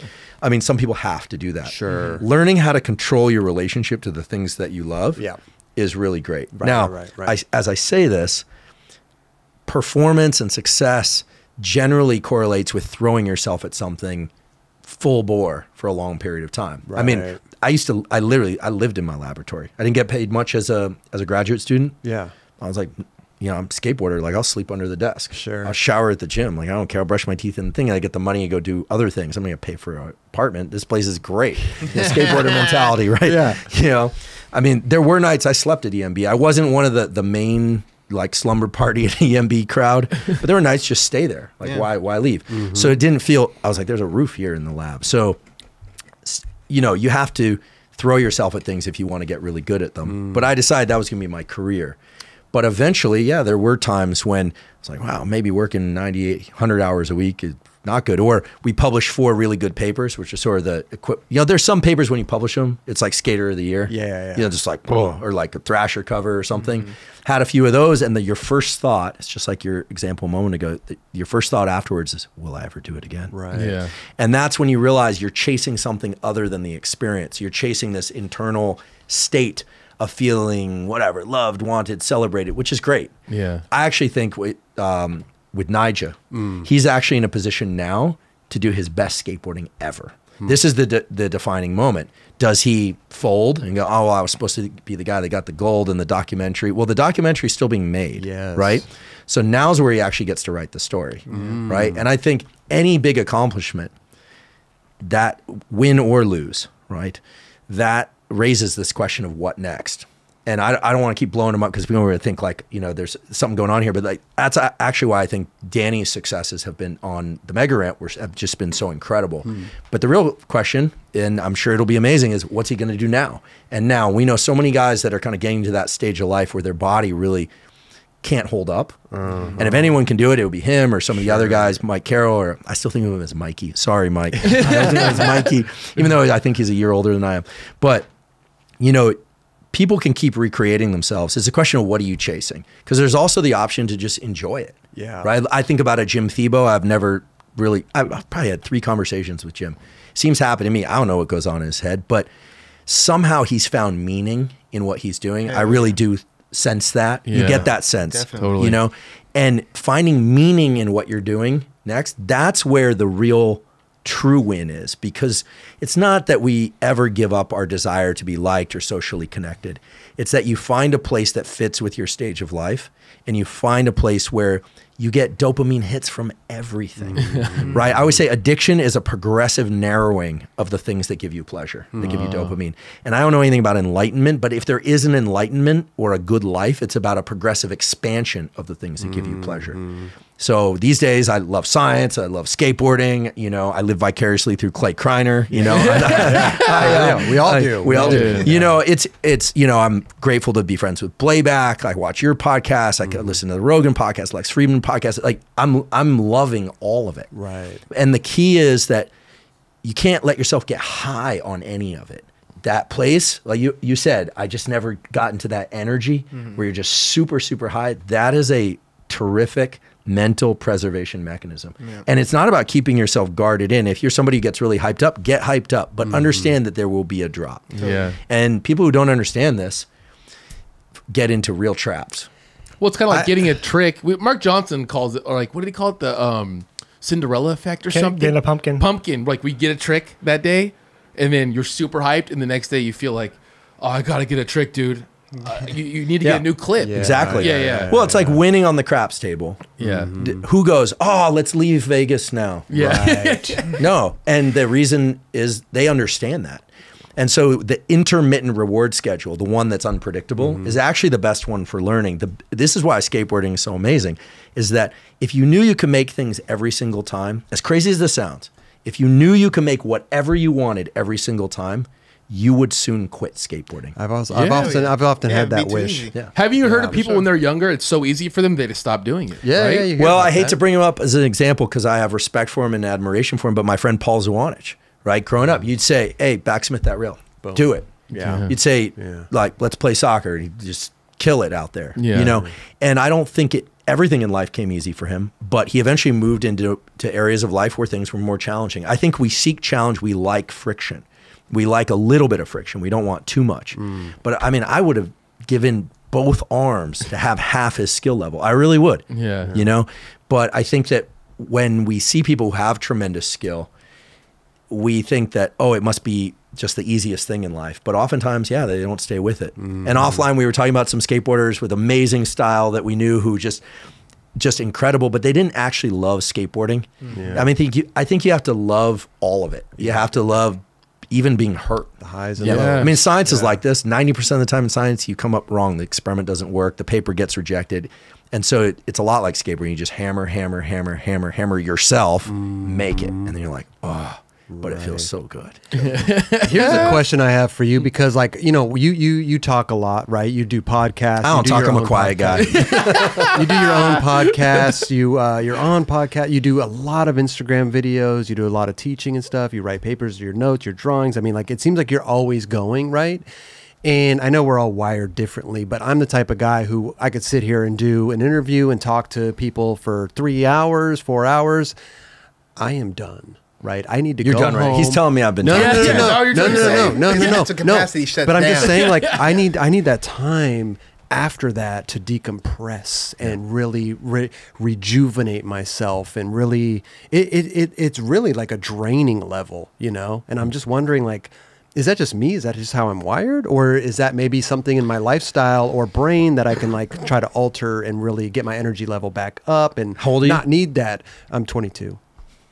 I'm 44. I wouldn't try and change it. I mean, first of all, that's healthy. And, Okay. And you know, and I'm here and I'm alert and it's nighttime and I'm I'm wide awake, but I sleep great. Yeah, You yeah. know, I've got my tools. I know how to I know how to flip the switch. And that's the thing is like Yeah. maybe I don't know how to flip that switch Wait, on but- and off yet. You know, Uh, you see what well, I'm saying? Well, you have to know when you're grinding. You have to feel that Yes, like yes, oh, yes, like yes. I'm pushing. You know that feeling Yeah. that's like it physically hurts a little bit. Yeah, Yeah. yeah. It's a good good idea to back off. Right. You know, I mean, for all that can be said about resilience and mental toughness, and you know, I David Goggins has been out to my lab. I know David, and you know, Hell he's yeah. great. I endorsed his book and the whole thing. Not that he needed my help, um, but he is like that. I mean, he's up at three in the morning running, and he's Mm-hmm. swimming. I mean, he's a hard driving guy all the time, all gas pedal Sure. You know that's what works for him. I think that and he does know how to recoup himself mm-hmm. because if you mm-hmm. really want to be a quote unquote high performer right? What i mean by that is you have good social connections. People like you. You like you. You know 90% of the time. You know you Yeah, yeah. you enjoy a physical activity like skateboarding. You have an intellectual life. That doesn't necessarily mean you have to be an, an intellectual or an academic but you like to think and learn and explore that involves moving back and forth across the seesaw and the real mm. key is to not push yourself hard into the paint too often or you're you're in conflict with your nervous system. A, a good example of this would be if you look at certain dogs. I used to have a bulldog. They make very few spontaneous movements. Bulldog is a chill animal. Mm-hmm. They can get up and go, but most of the time they're just like pure economy of effort. You walk by, they move their eyeballs. Yeah, yeah, right? yeah. Whereas a pit bull, a lot of spontaneous movement. Sure. Yeah. Right? And that reflects what we call the base level of autonomic arousal. Some people idle or hum at a higher, you know, it's sounding a little bit weird now, but a little higher frequencies. And they move around a lot and their movements are kind of, and other people are, are comfortable being still. Yeah, yeah, Some yeah, people fidget a lot. Right. You're a high energy guy. One of the reasons you're thin hmm. is that there's something called NEAT, N E A T, mm-hmm. which is non exercise induced thermogenesis. The more you move around like this, it's like 800 to 2,000 calories a day. Yeah. In fact, people who are really thin, you, what you find is if you look at their spontaneous movements, they move a lot. Mm. Larger people tend to move less. They're like, Right. they're like my bulldog, they're like, you Right. know? and people who are chill, they have just real economy of effort and economy of thinking. And I would say, you know, 10% of adults and maybe even more of kids, they have a little bit of attention deficit disorder. A lot of them find skateboarding and sports mm. like that, martial arts. I have to say, you know, when I was younger, I had a little bit of a Tourette, like a grunting tic. Oh. When I'd slam skateboarding, something I probably should have done more of, but when I'd really just, I'd feel reset. I was like, Yeah, yeah, oh. I feel normal now, like evened out. That's a actually a pseudo clinical indication of something like a lot of underlying reverberatory activity, hmm. right? And you know, we can sense this as we get older. That tends to relax, just like every puppy is like this. Everything's a stimulus, and then you get older, and you're like Blabac, you know, or Jerome. Yeah. You know, so or you probably sit a little bit mellower than me. Yeah. and you seem mellow. And he's so mellow, he's just, I don't know what he's doing back there. Nobody knows. Nobody's still a I'm mystery. just watching the show. Yeah, exactly. Still a mystery. exactly. So I think we all vary. you Yeah, know? yeah, And yeah. skateboarding is a place where you can channel that, like where you see people learn to kind of express that underlying Mm-hmm. thing. Like uh, just to drop some examples that I love, Cardiel. I mean, I knew Cardiel. I got to see him do a huge frontside uh, 180 ollie at night over that uh, that gap at the that Jacob shot that. Oh my God! First toe ins with cars like that guy was just slayer, slayer, slayer, slayer. Danny too, right?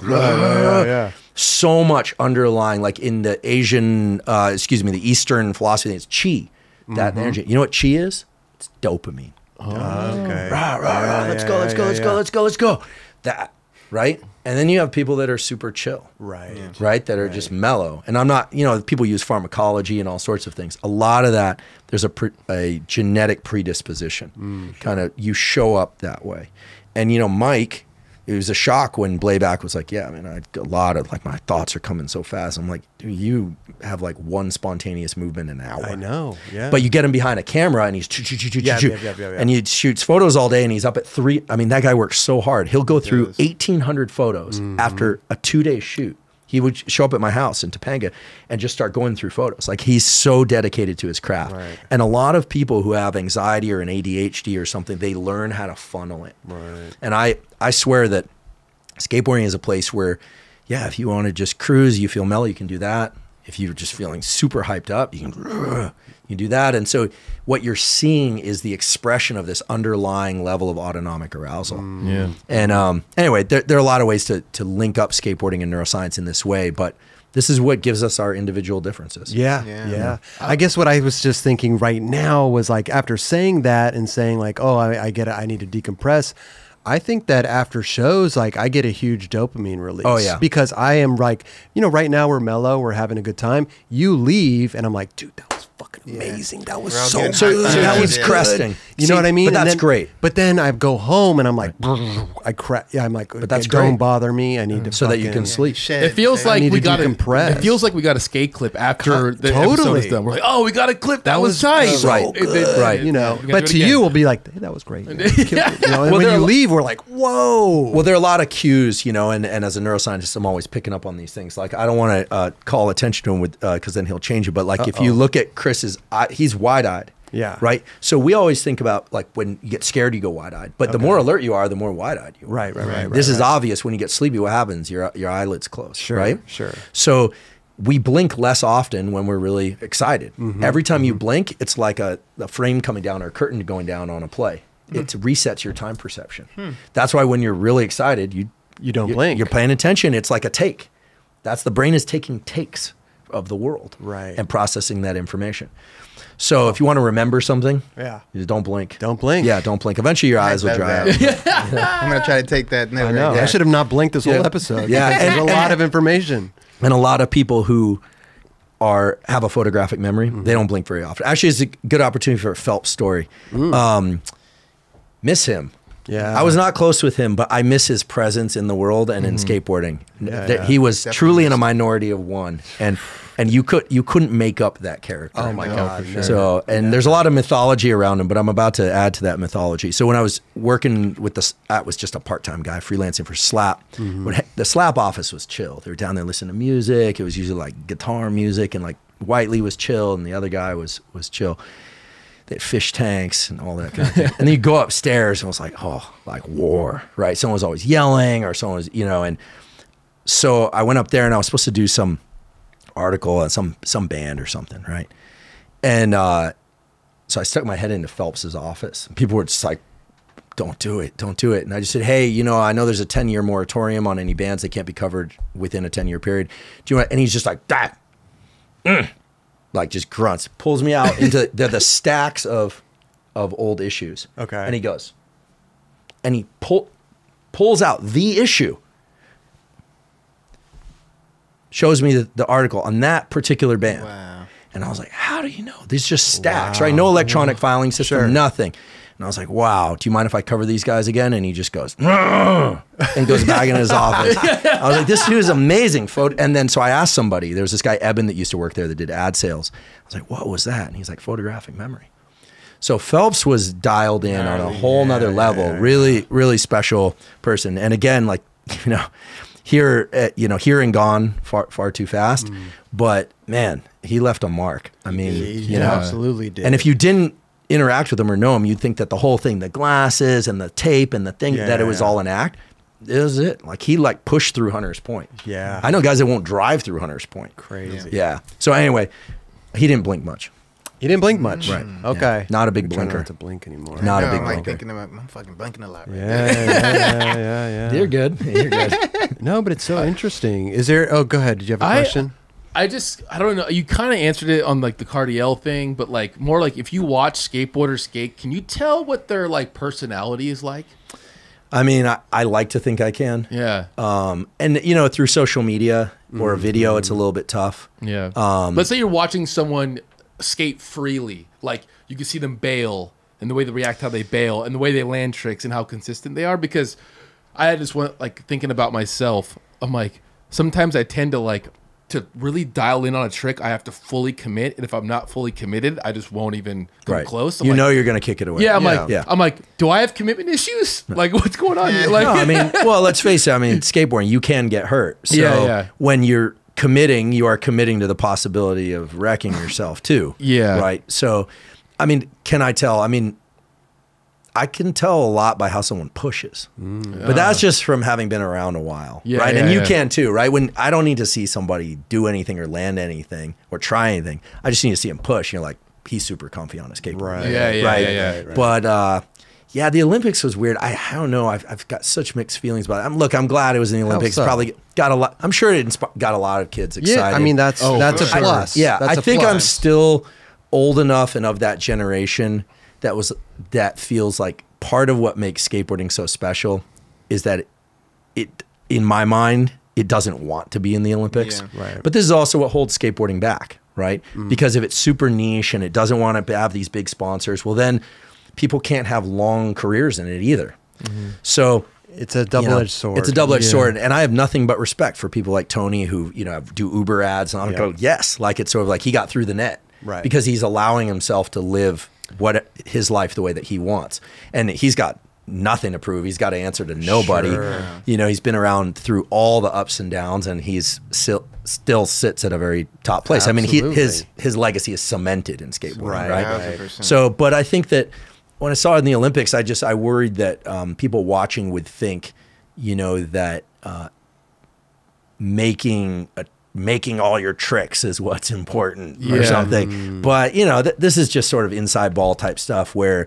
you want whoever takes it up and to stay with it to get the best of it, which is, as you know, happens in a completely different way in a mm. completely different context. But hey, it, if they stay in it, they'll get that. Yeah, Yeah. Right? Yeah. The magic True. is, you know, two in the morning in a parking garage with no cameras, no Yes. Instagram, with your friends and maybe even alone. Mm. And you're just like, that's the magic. That is the magic right Hundred there. percent. You nailed it. You nailed it. Yeah, I think I, I what I hoped that the Olympics would do is it, I hope it would trickle down. You know, the money coming in would help these skateboard companies and skate shops and stuff like that. Because skateboarding is a roller coaster. It's up, it's down. It's it's really hard to survive even as a professional skateboarder. That's just trying to do this for a living. A lot of professional skateboarders have another job, Right. You know, and so it's like I'm hoping that a lot of these companies and skate shops can take care of their riders and really, you know, pay them appropriately. And well, they're you know, making it- money off them. So, that- you know, Yeah, that's what's crazy. That's see, what we're talking about. Everyone right? that was in the Olympics, you've seen they have these crazy sponsors like Calvin Klein and Polo. And you're like, whoa, this is this is different. sure, Yeah. sure. Well, I think that for the general public, which I guess now, you know, I I am a part of. I guess we all are. Um, I never saw myself that way, but uh, it's true. It's true. Uh, from my lab, if I look out, I have a view of that hubba at Stanford. Oh, you do? And every Oh. once in a while, kids are out there, and I see security coming around, and every once in a while, I think about calling security to just kind of like, Like, I just feel like let them have it. you Yeah, know? it's a that's right hubba. for It's a minute. hubba. It's not like they're doing any any damage. It's like a little wax, in it, you know. yeah. And and I see what they're going for, and I- and they're out there with cameras, and you know, it's, Yeah. uh, they're making history. Um, so I, I mean, to me, I think that there are places where skateboarding could really benefit from having, um, you know, relationships to bigger sponsors and that sort of thing. Part of it, and I'm probably not the best person to comment on this, but part of it is skateboarding also relaxing itself a little bit and understanding that it's not going to lose its identity if it does do that Yes. Right. right? Yes. Because skateboarding as a community really thrives on, let's be honest, on a kind of dislike of a lot of other things. It's mm-hmm. always prided itself on being different than that, like that, but not like surfing, but not like surfing, right? Like mixed martial arts, but not like mixed martial arts. But look at mixed martial arts. That's actually a decent example. I just gave myself a decent example. it's a decent example. yeah, There we go. Uh, I'm just surprised. Is all. Uh, sorry about that. Um, you know, jujitsu, Thai kickboxing. I mean, these were sports that were not as popular as Western boxing, stand-up conventional boxing, Sure, sure. and the UFC has created a billion-dollar industry No out of this, thanks to the genius of Dana White and everyone around. Conor, you have your Conor McGregor's. Yeah, yeah, yeah. They don't worry about having big sponsors and making money and putting, you know, uh, asses in seats. That's what they do, and that's what allows them to keep going and to recruit really terrific talent. People can go into that. Sure. So you know, skateboarding could do the same. There's just always been this complicated thing where the best skateboarding is not done in arenas and parks. You know, and Right. so I mean, Vert's kind of an exception because that is how Vert is done Yeah. but uh, it's tricky. I don't know. I don't know what it's going to do. Look, if I had a major corporation, I would say skateboarders first. To me, it's the the be- it's the ultimate sport. It's actually the only sport I really care about because it um because I can feel it in my body when I see somebody make it. Right. I get I get a vicarious dopamine hit. Yeah, yeah, yeah, yeah, So yeah, that's yeah. me. But I do think that um, in thinking this out, that the Olympics hopefully bro- netted a bunch of kids Right. Totally. who are going to get into this. Thing. Go buy, go to their local shop and Yeah, buy hopefully that boards. trickles and- down to, Yeah, yeah, you yeah. know, the, the trickle down. community, for right, sure. right. we just hope right. they learn the way that we all grew up, loving skateboarding, right? Right. Like that's it might be a little different just because we're in a different time, you know. for Yeah. sure. It changed. I mean, the guys that were older than us, and it was mostly guys. Let's face it. Now you have girls, Oh, women, yeah. women doing Yeah. skateboarding. Yeah, yeah, Before yeah. it was not like The like landscape is being changed real time. It's Yeah. amazing. Yeah, So- we. I mean, we thought those guys were kooks, and they hated us. And it's probably going to be the same. Except there seems to be more love across the generations That's now. that's for Mhm. it sure, does right, seem that right. way. Like sure. I, I don't see this like oh like millennial skateboarders or whatever it is. Well, I feel know? like whatever generation you grew up in was the best generation, right? Yeah, It's like, although oh, I- I'm so glad I grew up in this. Yeah, although I came up in the like micro wheel thing, and that was really depressing. Big clothes, micro wheel. But was listen, you're trying to We skate. went through some phases, really. That was bad. You're trying to No skate doubt. EMB with fucking bearing covers as that wheels. was we bad. Did. crazy. We yeah, did do I that. managed to escape that a little bit. Yeah. Because even though I never could have hung in there with them, I always had immense admiration for Julian Stranger and those guys who Oh, grew up in the city. That generation, like Tommy, Julian, Yeah. all those guys, Shrugi, and those guys that like rode the whole city, not just Embarcadero. Right, right, right, right. And they just took over the city. And I see what GX 1000, those mm-hmm. maniacs are doing. Totally. And I'm like, wow. Yeah. What does anyone actually, what do, do people even, have they checked those guys out? Brain scans? Are they all right? Are they all right? You should talk with them. No, yeah, no, I'm not going to talk to them. I actually saw some of those guys in the city. I was uh, up near Bernal Heights, and I saw some of those guys. They they look like a gang, Right. Yeah, they real like, deep. and I'm yeah. scared of very few people. I'm not trying to draw fire by saying that, by the way. I'm scared of very few people, but they look like a gang. They do not look like the kind of guys you just roll up to and like, hey, what's up? yeah, right. Yeah. I mean, Uh, they're, they're probably hella cool. Yeah, I don't no, know them for sure. personally, I- but I'm Yeah. sure they're like fucking. Yeah, no, I'm not uh, afraid of them. I just think Yeah. what they do is uh, Psycho. It's psycho. It's putting everybody in danger. Fuck. And I think it's that they do it with no, they don't smile, nothing. They don't- Just they- like beer, cigarette, Let's bomb go. this hill. Let's go. Someone dies, mirror them. Yeah, it's, It's crazy. Yeah, it's it is, crazy. huh? It's crazy. It's crazy. man.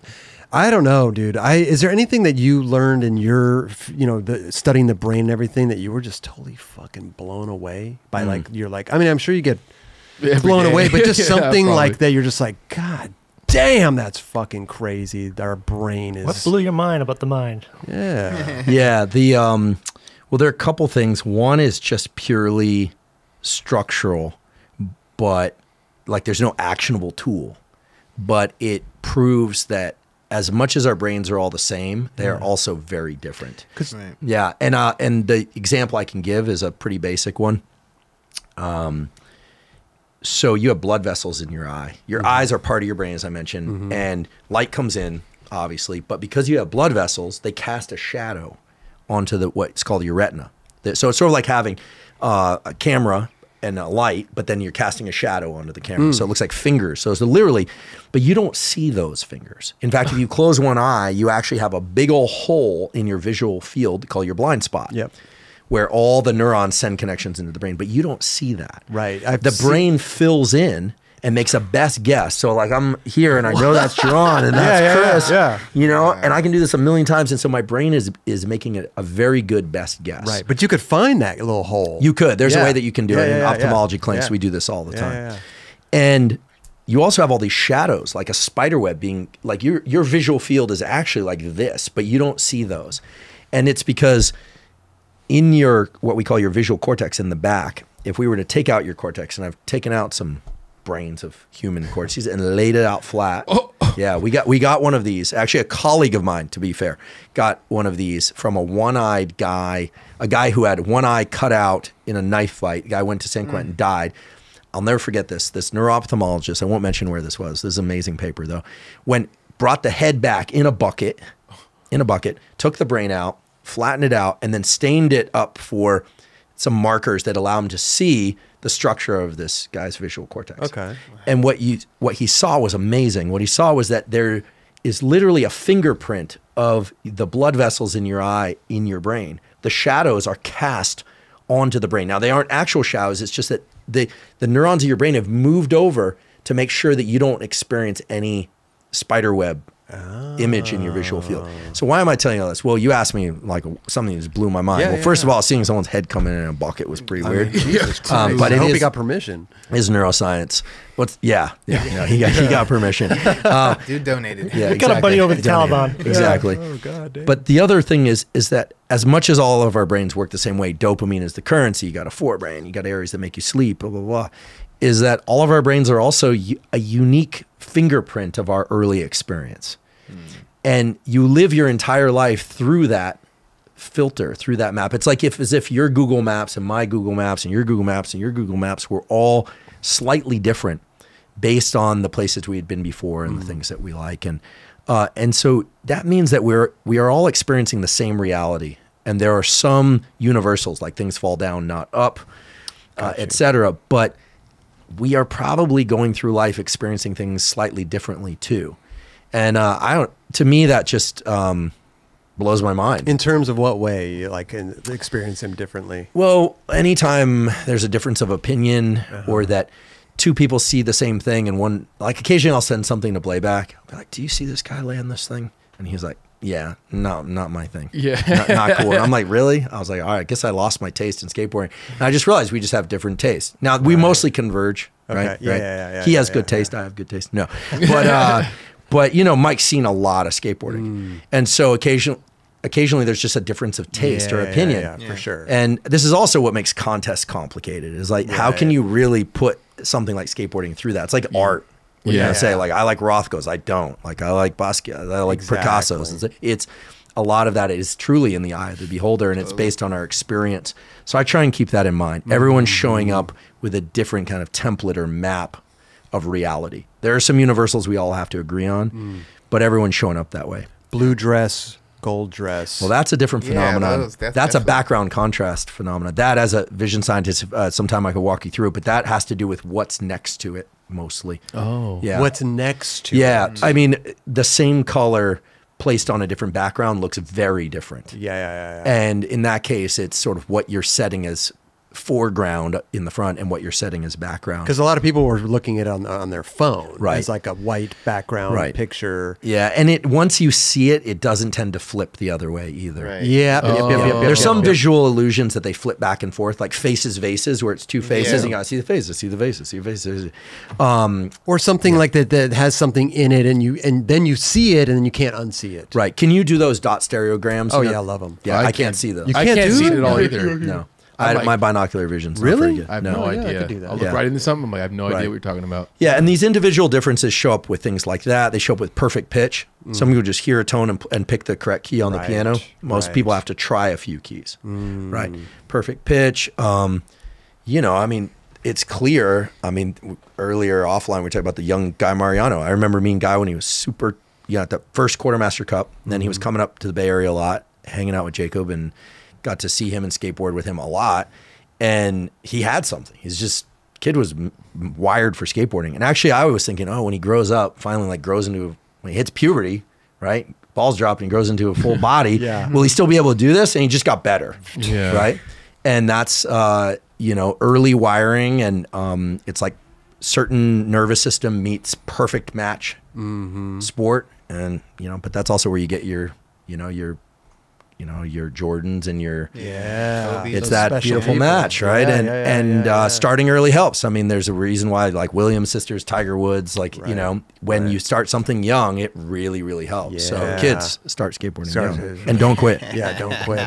It, let's can we can we just talk about like health and fitness and also like you know uh, just not necessarily working out, but more of like you know supplements and different things like foods and different things that you've kind of experienced that could help like other skaters. Sure. Kind of. Uh, Yeah, I Maybe mean- not get to optimal performance, but Long-lasting That will almost, help them. You know. Sure. I mean, since you asked, uh, yeah, with all the caveats that I'm not trying to change skateboarding. No, no, no, no. if skateboarding wants to change itself, those tools are available, and I can help. You know, if people want to make a change. Listen, So- I mean, It's, listen. I- it's, it's happening. I mean, It I'm is, starting it to is, see it a lot of people very conscious of what they're eating, how Well, they're that's going good. about their. You I mean, know, taking Yeah, taking for care of oneself mentally and physically, and those things are linked, is always especially when we're getting older, right? When we get older, it becomes harder to perform and different things. You're losing your touch a little bit. Like you know, there's certain things Sure. that could play a part with the low dopamine uh, levels. Yeah, right you don't now. seem to have any trouble with dopamine, but yeah, I'll, I'll appreciate set some of that. I'll set aside my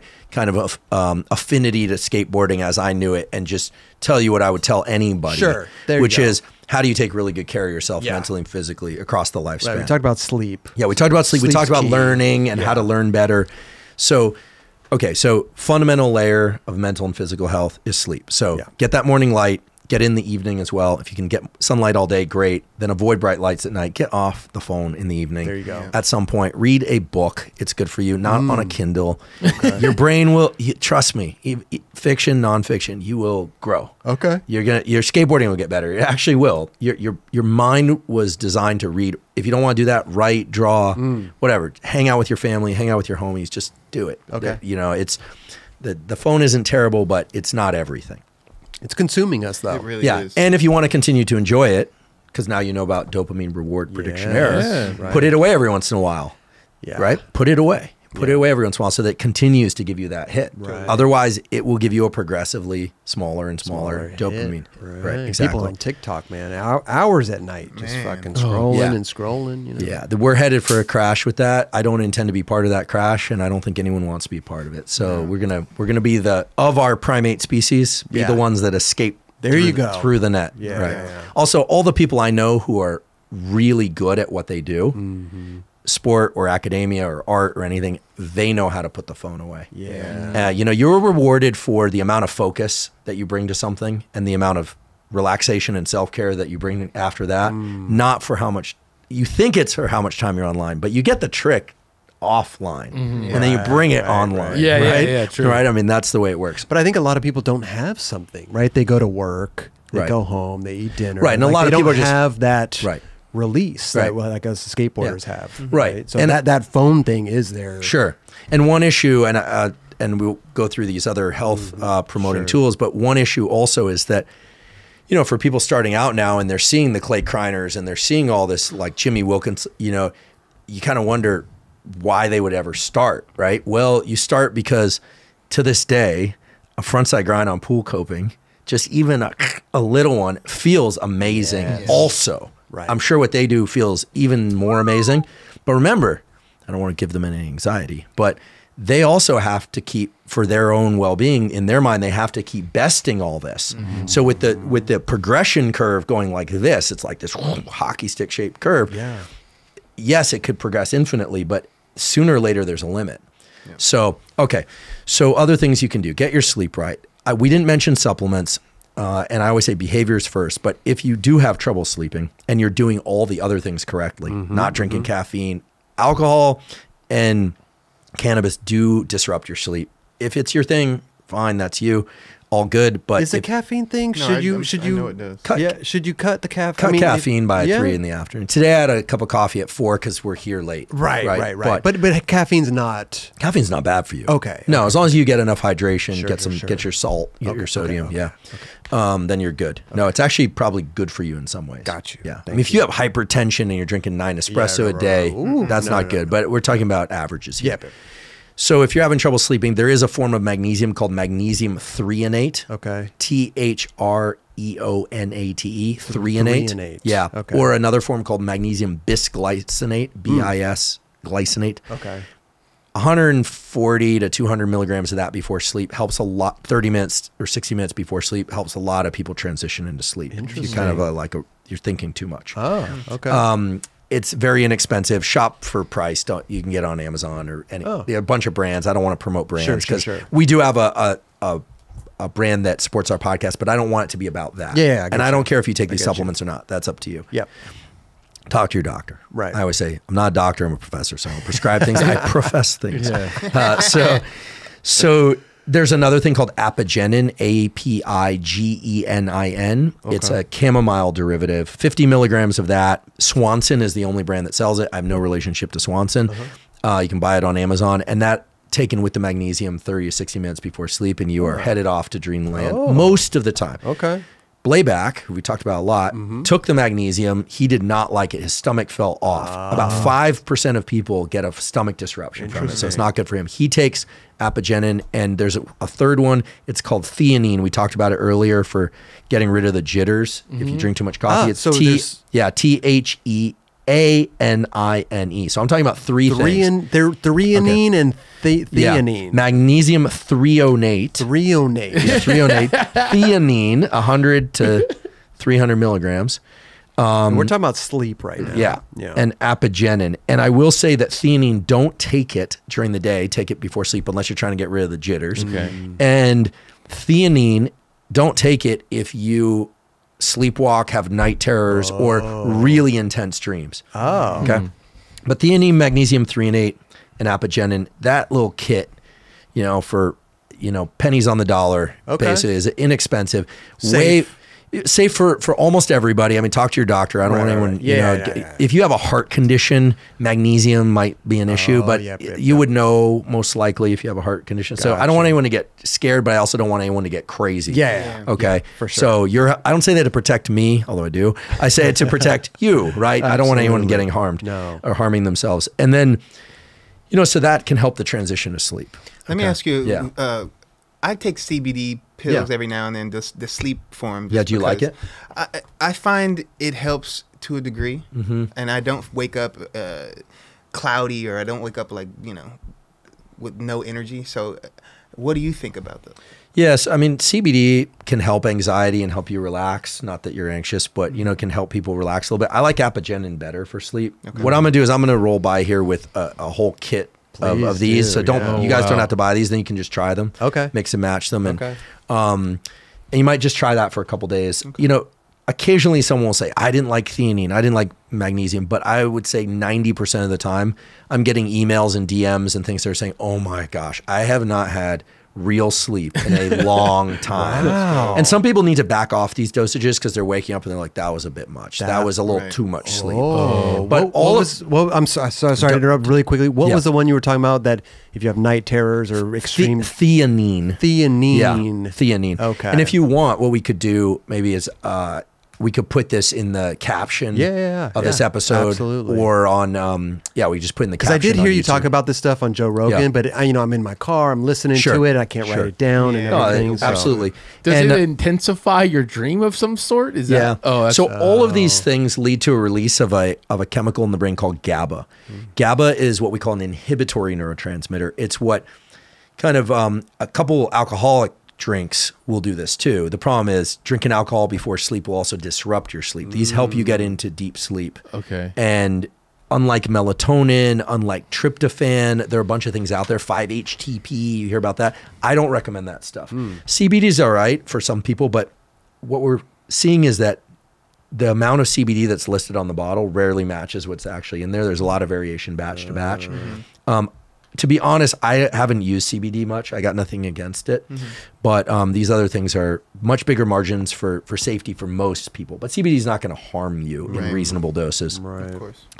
So that's what I recommend before sleep. And look, if you're getting really good sleep on a regular basis, everything gets way better. Okay. So that's you know you may find that you are not access, currently accessing a lot of powers of your nervous system and of your mind. Also for your immune system, getting good sleep is terrific for healing up your body.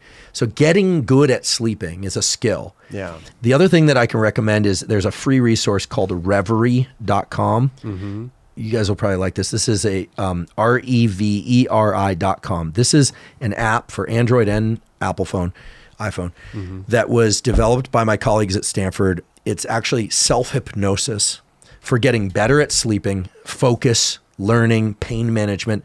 And the science on this is really, really strong. They've done clinical studies, lab studies. It's my colleague David Spiegel, is Mm. our associate chair of psychiatry.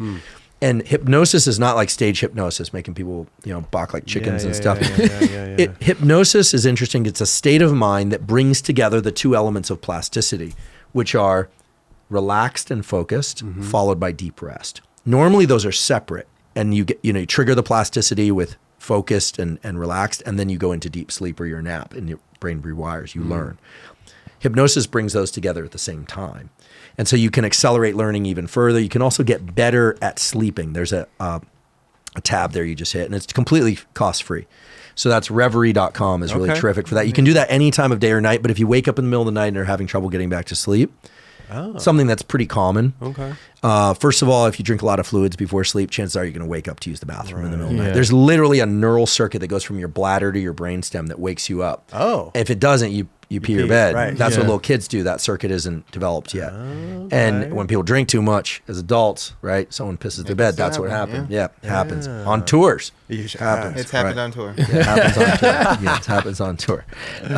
Wait, I, But what happens on tour Not me. it's stays else. on Yeah, tour. Not me. That's someone right. else. That's right. When it comes to hypnosis, man, it's a whole different conversation, I guess. But like, I would trip out. I remember going to high school the the last day when they had this hip, the guy a hypnotist come, and these kids were going. I was in school with all year. They were doing the craziest shit after hypnosis, and I was like, "Are they just acting, or is this some serious? They serious?" made Kelly Yeah. cluck like a chicken. Yeah, Yeah. they are in an early stage of sleep where you're very suggestible. There's actually some people are are more uh, susceptible to hypnosis than others. There's actually a test that we can do right now on this. I So, and but I'll explain. I'll explain how it works. And, but I can tell you, I I couldn't predict just by interacting with you. So when you look up, it generates more alertness. Okay. Okay. This actually makes sense, right? When people nod out, they're like this Yeah, typically, yeah, right? Occasionally you'll fall back, but usually it's it's like this. When you look down, actually, brains areas of your brainstem that trigger kind of quieting down or relaxation happen. Ac- So mm. actually, looking up for a short while, um, especially if there's bright light above, will actually wake up your nervous system to some extent. Okay. Okay. Looking down does the opposite. So we can do this test. Actually, uh, let's use Jerron because he's super chill. All right, just maybe tilt your hat back a little bit. Not, not a lot. We're not going to say take it.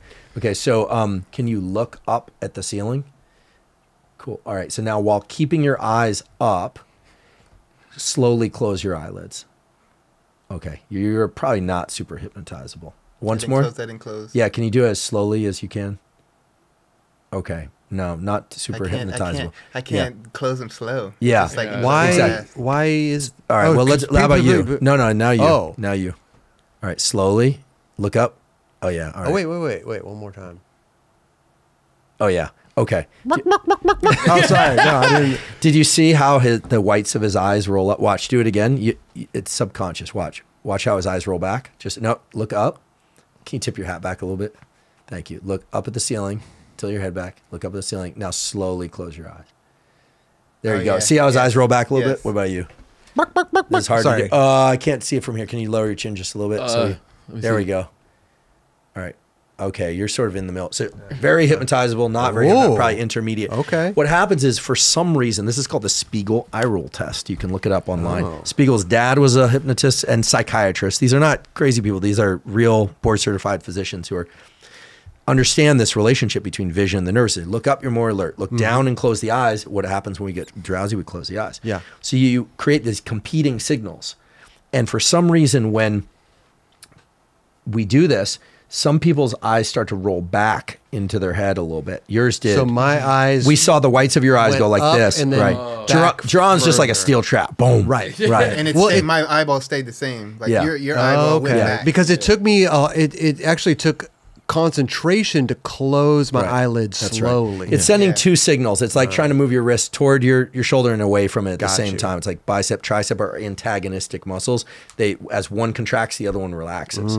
Okay, so I mean, I can do it so you guys can see. Mm-hmm. Yeah, yeah, yeah, Um, yeah. but Yeah. you know, it's more interesting to to see if you guys are hypnotizable. Yeah. So I'm looking up and then. oh yeah, yeah, yeah, yeah. yeah. I'm Yeah, so- very yeah. Wow, hypnotizable. I'm like a four. I saw that. I'm like I'm. What, very- what am I? You're probably like a three. Okay, good. You're I a one. be- and Yeah. You're probably like a two, although we were at a distance. Yeah. So, Okay. Yeah. And he's sitting back there. He's completely out. He's like, sorry. He's, levitating trying to- right now. Yeah. Raj is back there clucking away. no. So, so Reveri is great because once you're in that hypnotic state, which is that relaxed, you're very relaxed, but you're also alert. Mm. You are able to rewire your brain. And what's cool about Reveri is that it's a self hypnosis. And what I like about it too is, you know, it doesn't involve any supplements or anything like that. It's completely cost free. And um, yeah, you can play around with that. And, uh, you know, they've used it for pain management. They've used it for people getting better at sleeping, for focus. Okay. So not only sleep. A lot there's, of there's a menu there. You can do it. Oh, Yep. Um, Okay. I'm just Yeah. gonna go out on a whim and say people that get, that can take naps can get hypnotized. Because I can't take Like naps. naps easily. You I can't. I can't nap. Like Really? I, I can't. How do like, you, just- you sleep okay? I sleep okay at night, but Yeah. I'm saying like as far as like trying to like calm myself down to like take even if I'm tired to like mentally calm myself down to like take a nap. I can't do that. I just Mm-hmm. I feel that I need to be doing something. You know what I mean? Like I, I don't know. It's just I don't Even watching like- TV, you don't, or like if you're, if I'm on my phone sometimes at night and I'm just scrolling and scrolling, like I start and I'm reading something. Oh, that's def- that's when I'm definitely reading, I start to like fade out. You'll quick, fade out. For Yeah. sure. quick. Yeah. yeah, Yeah. Yeah, That's well, not necessarily a nap though. I'm more thinking about like Because that's when you're tired. Yeah. Yeah. Yeah. Yeah, when you're tired, that adenosine built up in your system, and when you move your eyes from side to side, that mm. actually shuts down a brain center called the amygdala, which is a fear and threat detection center. Oh. So let's say use an example. It's all line of tools like so panic or trying to make a trick. You're afraid, right? Mm-hmm. There's often fear. I Sure. mean, you know, it's like makes sense. You get you get Scary. Yeah, you get Yeah. dam- you get damaged. Yeah. So, you know, one thing that existed for a long time and I thought was total quackery is this thing called EMDR, eye movement desensitization reprocessing, where some therapist named Francine Shapiro came up with this idea that if the patient would sit down in a chair and recount some trauma or some fear and move their eyes from side to side like this, that somehow mm-hmm. they could move through it. And people would ask me about this stuff. They're like, "You study vision, you study stress," and I was like, "This stuff is crazy. It's quackery. Somebody made this up." They'd say, "Oh, it coordinates the activity on the two sides of the brain. It mimics REM sleep, rapid eye movement sleep." I thought this is nuts. It's nothing worse than this idea. And then I ate my words because I was in science we review papers we're sent papers you have to review them and critique them anonymously mm-hmm. and i got a bunch of papers to review that were focused on eye movements not on trauma or fear or anything like that and what they saw in these papers is they observed that when we move our eyes from side to side a brain area called the amygdala which is involved in fear and threat detection Okay. it's kind of universal neural real estate for fear be alert be, you know all the all the panicky stuff that area was suppressed. And it turns out it makes sense because when you move forward through space, whether or not you're skateboarding, if it's self generated motion, you're walking, you're running, you're cycling, you're skateboarding, as you move through space, the visual images are going by you like this, but you don't experience them as a blur. Just like if you took a picture on your phone and you moved your mm-hmm. phone, it'd be blurry, but you have what are called image stabilizing eye reflexes, or, and there's a well known system for this. Mm-hmm. that involves the inner ear and the vestibular system, all that. Anyway, when you move your eyes from side to side, it mimics forward movement. And it seems that forward movement, or just moving your eyes from side to side, quiets the fear response. And this pr- probably, and I'm don't know because I wasn't consulted at the design phase, but it probably is involved in our evolution of being able to move forward in the face of danger, right? And so this is now a an approved clinical tool. They sit people down, they have to move their eyes from side to side, and they recount some. They verbally recount some traumatic episode. It oh. doesn't work for everybody or Okay. every trauma. Okay. There's some nuance there, so I don't want to oversell it. Sure. But as a simple tool for reducing fear, fear of flying, fear of the handrail, fear, you know, Yeah. be smart about your choices. But if you want to reduce your level of fear, you can do this for 10 to 30 seconds, just back and forth. Your eyes do have to be open and it looks ridiculous. Hmm. But, you know, moving your eyes from side to side, and it's actually a little bit, takes a little bit more effort. than Yeah, it does. think. But it does. does tend to quiet your system. Hmm. The other thing that can calm you down really fast is something that was actually discovered in the 30s. My lab has now picked up with this, and we're doing a whole.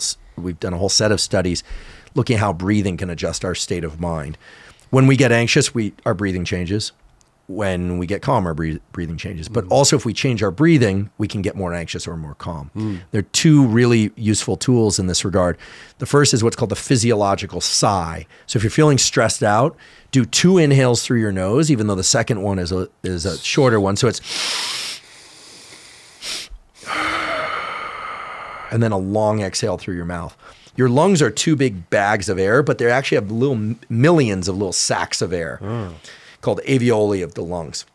Those, when you get stressed, a lot of the reason you get stressed is because those flatten out like little balloons and you can't offload carbon dioxide. And high levels of carbon dioxide in your bloodstream are actually a big part of the stress response. It's not the only part, but it's a big part. When you do that double inhale, those little sacs reopen, pow, like kind of blowing open a balloon. They don't explode, but they reopen. And then the long exhale, you're able to offload the carbon dioxide. Oh, So the fastest way to calm down really fast is that panoramic vision and then just and then you'll notice you just calm way down really Yeah, fast. And yeah, you yeah. actually do this right before you fall asleep. You don't Oh. realize it. A dog does this before it takes a Actually, nap. I do take a big deep breath sometimes. and But so not maybe not twice, not the twice thing, but just one Right. deep, bet- one deep breath, breath to open Yeah. the lungs up. you Right. know? And in sleep, we sponta- all people spontaneously do these physiological sighs. Mm. When we start running out of oxygen, we do two inhales followed by a long exhale. You see this even when people Mm. aren't conscious. Some people have sleep apnea because they're carrying a lot of extra weight. None of the people in this room have this phenotype, but they're, you know, when people are obese in sleep, they've got to build up a carbon dioxide in their system and they're actually oxygen deprived. Their brain is becoming hypoxic. You're starving the brain of oxygen. Oh, wow. This is a huge part of, you know, some of the health issues related to obesity and, and Right. breathing You issues. The CPAP machine and The all that CPAP. Yeah, and yeah, so yeah. so physiological sighs you can do anytime you want. But when you're stressed, if somebody says take a deep breath, actually it's two deep inhales through the nose followed by a long exhale. Long One or two of those, and you're you will be reset Amazing. very very fast. Okay. And then the last one I would say, or you know, because I could go on forever with this. Um, and I handed this off to a couple skateboarders um, uh, that reached out about this. Is you can also raise your stress threshold. You can let's say you're the kid or the person who is not super aggro. You're not a Cardiel, right? You're just you're kind of timid, right? It's chances are you're either smart about not wanting to damage yourself, right? Uh-huh. Or it could be that you have a heightened level of anxiety. So how do you reduce your just baseline? Hey, become like Jerron. This is really what this whole podcast is about. You know? How do you become more chill? Yeah. Which is what you want to do is deliberately put yourself into a state of heightened alertness. You want to deliberately increase your adrenaline. There are a couple ways to do that. You can take a really cold shower. You can get into an ice bath. When you do that, there is no way around it. Your system will be filled with adrenaline. You're like, Oh yeah. and then you learn how to control your breathing and relax. Uh-huh. Or if you don't have access to a cold shower or an ice bath, you can do what's called tummo breathing, which is actually hyperventilation. And I'll do this mm. since it looks ridiculous. I'll you know I'll be the the canary in the, the mine. This is actually a lot like Wim Hof breathing. Okay. So it's very different than the physiological side. And the idea is to actually get yourself stressed and then to be calm in a state where your body is filled with adrenaline. Interesting. It's it's a self-directed stress inoculation. And so I'm not going to do the whole thing, but it would be 25 or 30 of these type of breaths in through the nose, out through the mouth like this. You'll notice your body starts to heat up. That's oh. adrenaline release. You're literally heating up. Uh-huh. Okay. And then after 25 or 30 of those, you are going to feel uncomfortable. You're going to feel agitated. That's adrenaline trying to get you to move. You want to stay still, be like Jerron, and then just exhale all your air, sit for about 15 to 30 seconds. You can time it if you want, and try and just be relaxed with all that adrenaline in your system. Then repeat 25 or 30 breaths, exhale, oh. relax for 15, 30 seconds. Then do it one more time, F- 25, 30 breaths, exhale for 15 to 30 seconds. And then comes the fun part. You take a big gulp of air and then hold, but relaxed. Hmm. And what you'll notice is you can hold your breath a lot longer than you normally would. Why? Because the impulse to breathe actually comes from carbon dioxide. And you've blown off a lot of carbon dioxide. Now, mm. absolutely critical. Do not do this in water or a bathtub. Right. At least four people have died doing this Oh wow. because they did it in a pool and then they were like, I'm going to dive underwater for as long as I can. Oh, Morons. hold their breath. Yeah, well, now they're definitely holding their breath because they're dead. So they're gone. So don't do that. Don't do it while right, you're right. driving. Be smart. Okay. But then what happens is you take that big deep, uh, big deep breath, Uh-huh. and don't push to the point of blacking out. When you feel the impulse to breathe, breathe. But what you'll notice is you're very alert, but very calm, and that's the perfect state for neuroplasticity, for learning. It's as if you took three shots of espresso, just the right amount of theanine, perfect night's sleep.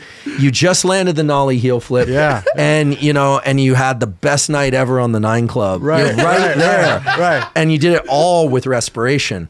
And I recommend doing that one or two or three times a week. Mm. And what you'll find is you will start to discover all sorts of interesting aspects of how you work. You'll notice, you know, I don't want to do it. You'll notice there's like this barrier that you're kind of resistant to adrenaline. Hmm. You're definitely not Cardiel. Okay. Right. Right. He loves adrenaline. He lives in that zone. Right. He he when Cardiel at his skateboarding best and now on the bikes and everything he's doing is like that groove is a place he craves. A lot of people they're not comfortable entering it, but then once they're there, they're like this is pretty nice because adrenaline is amazing. Adrenaline not only makes you more alert, but it also is what activates your immune system. Hmm. We always think, oh, stress crashes your immune system, but no, no, no. If you are stressed, stressed, stressed, stressed, stressed, you don't get sick. But afterward, when you finally relax, then you get sick. Oh. So the reason is when you breathe like this, adrenaline actually tells your spleen the, to release these killer cells hmm. that go and combat different types of infections. You heal faster. And this is stuff is not hocus pocus. No reference to the H treatment. Long- that was terrible. A long time ago. That was pretty good. I mean, Hensley. The Hensley made that movie.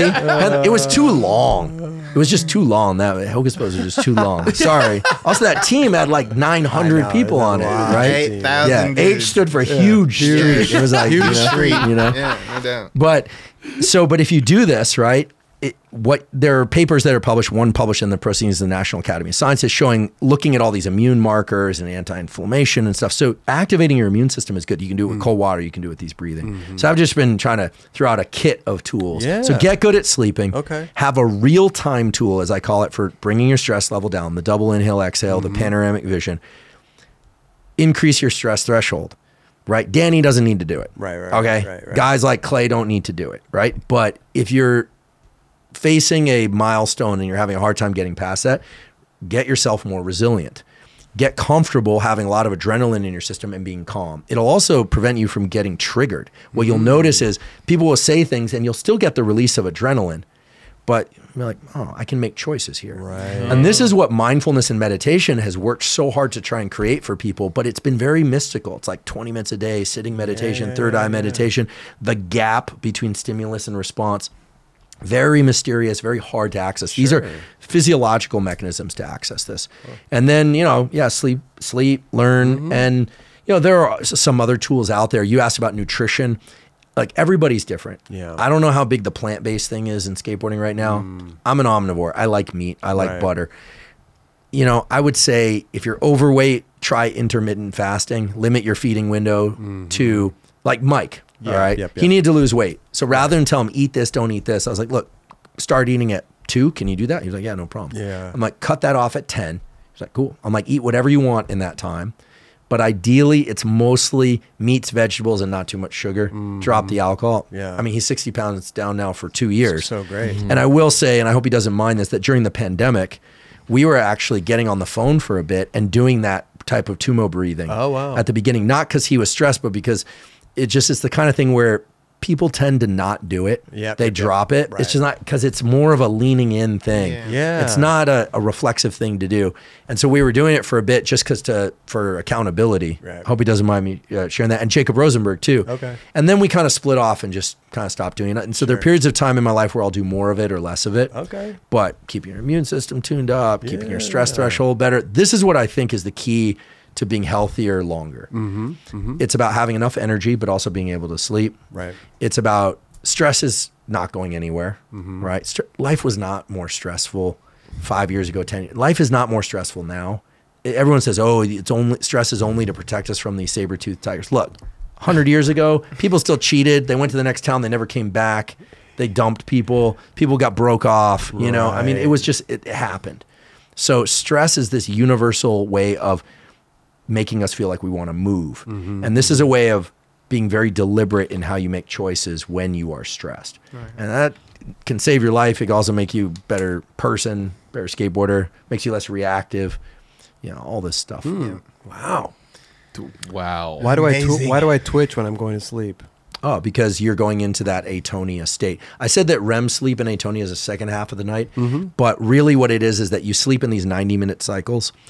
And early in the night, a small fraction of those 90 minute cycles is REM sleep. Yeah. And then as the night goes on, more of those 90 minute cycles are occupied by REM sleep. Right. Everything is in 90 minute, what we call ultradian cycles. Oh. In fact, you're going to learn best by focusing on something for 90 minutes. It'll be hard at first, then you're really in the groove, and then you kind of exit that 90 minute cycle. Okay. Okay. And so that's true for mental learning. It's also true for physical learning. God, a lot of the time I, I'm falling asleep by twitch. Yeah. Yeah, Like you're in, sta- in you're in sta- stage one sleep. And yeah, I- I, did that in school. Oh, sure. Yeah, in school. Yeah. Yeah. Oh, my best Yeah. sleep was always in the classroom. Yeah. People sleep in my classes all Oh, the time. really? Oh yeah, yeah. Yeah. look around. A lot of it's also the the in the room, the oxygen's. You know, there's oh. carbon dioxide's going up. Sure. You know, it's warm. Post lunch dip. Cozy. Yeah. yeah. You know, it's What a- yeah. What about if I see someone yawn?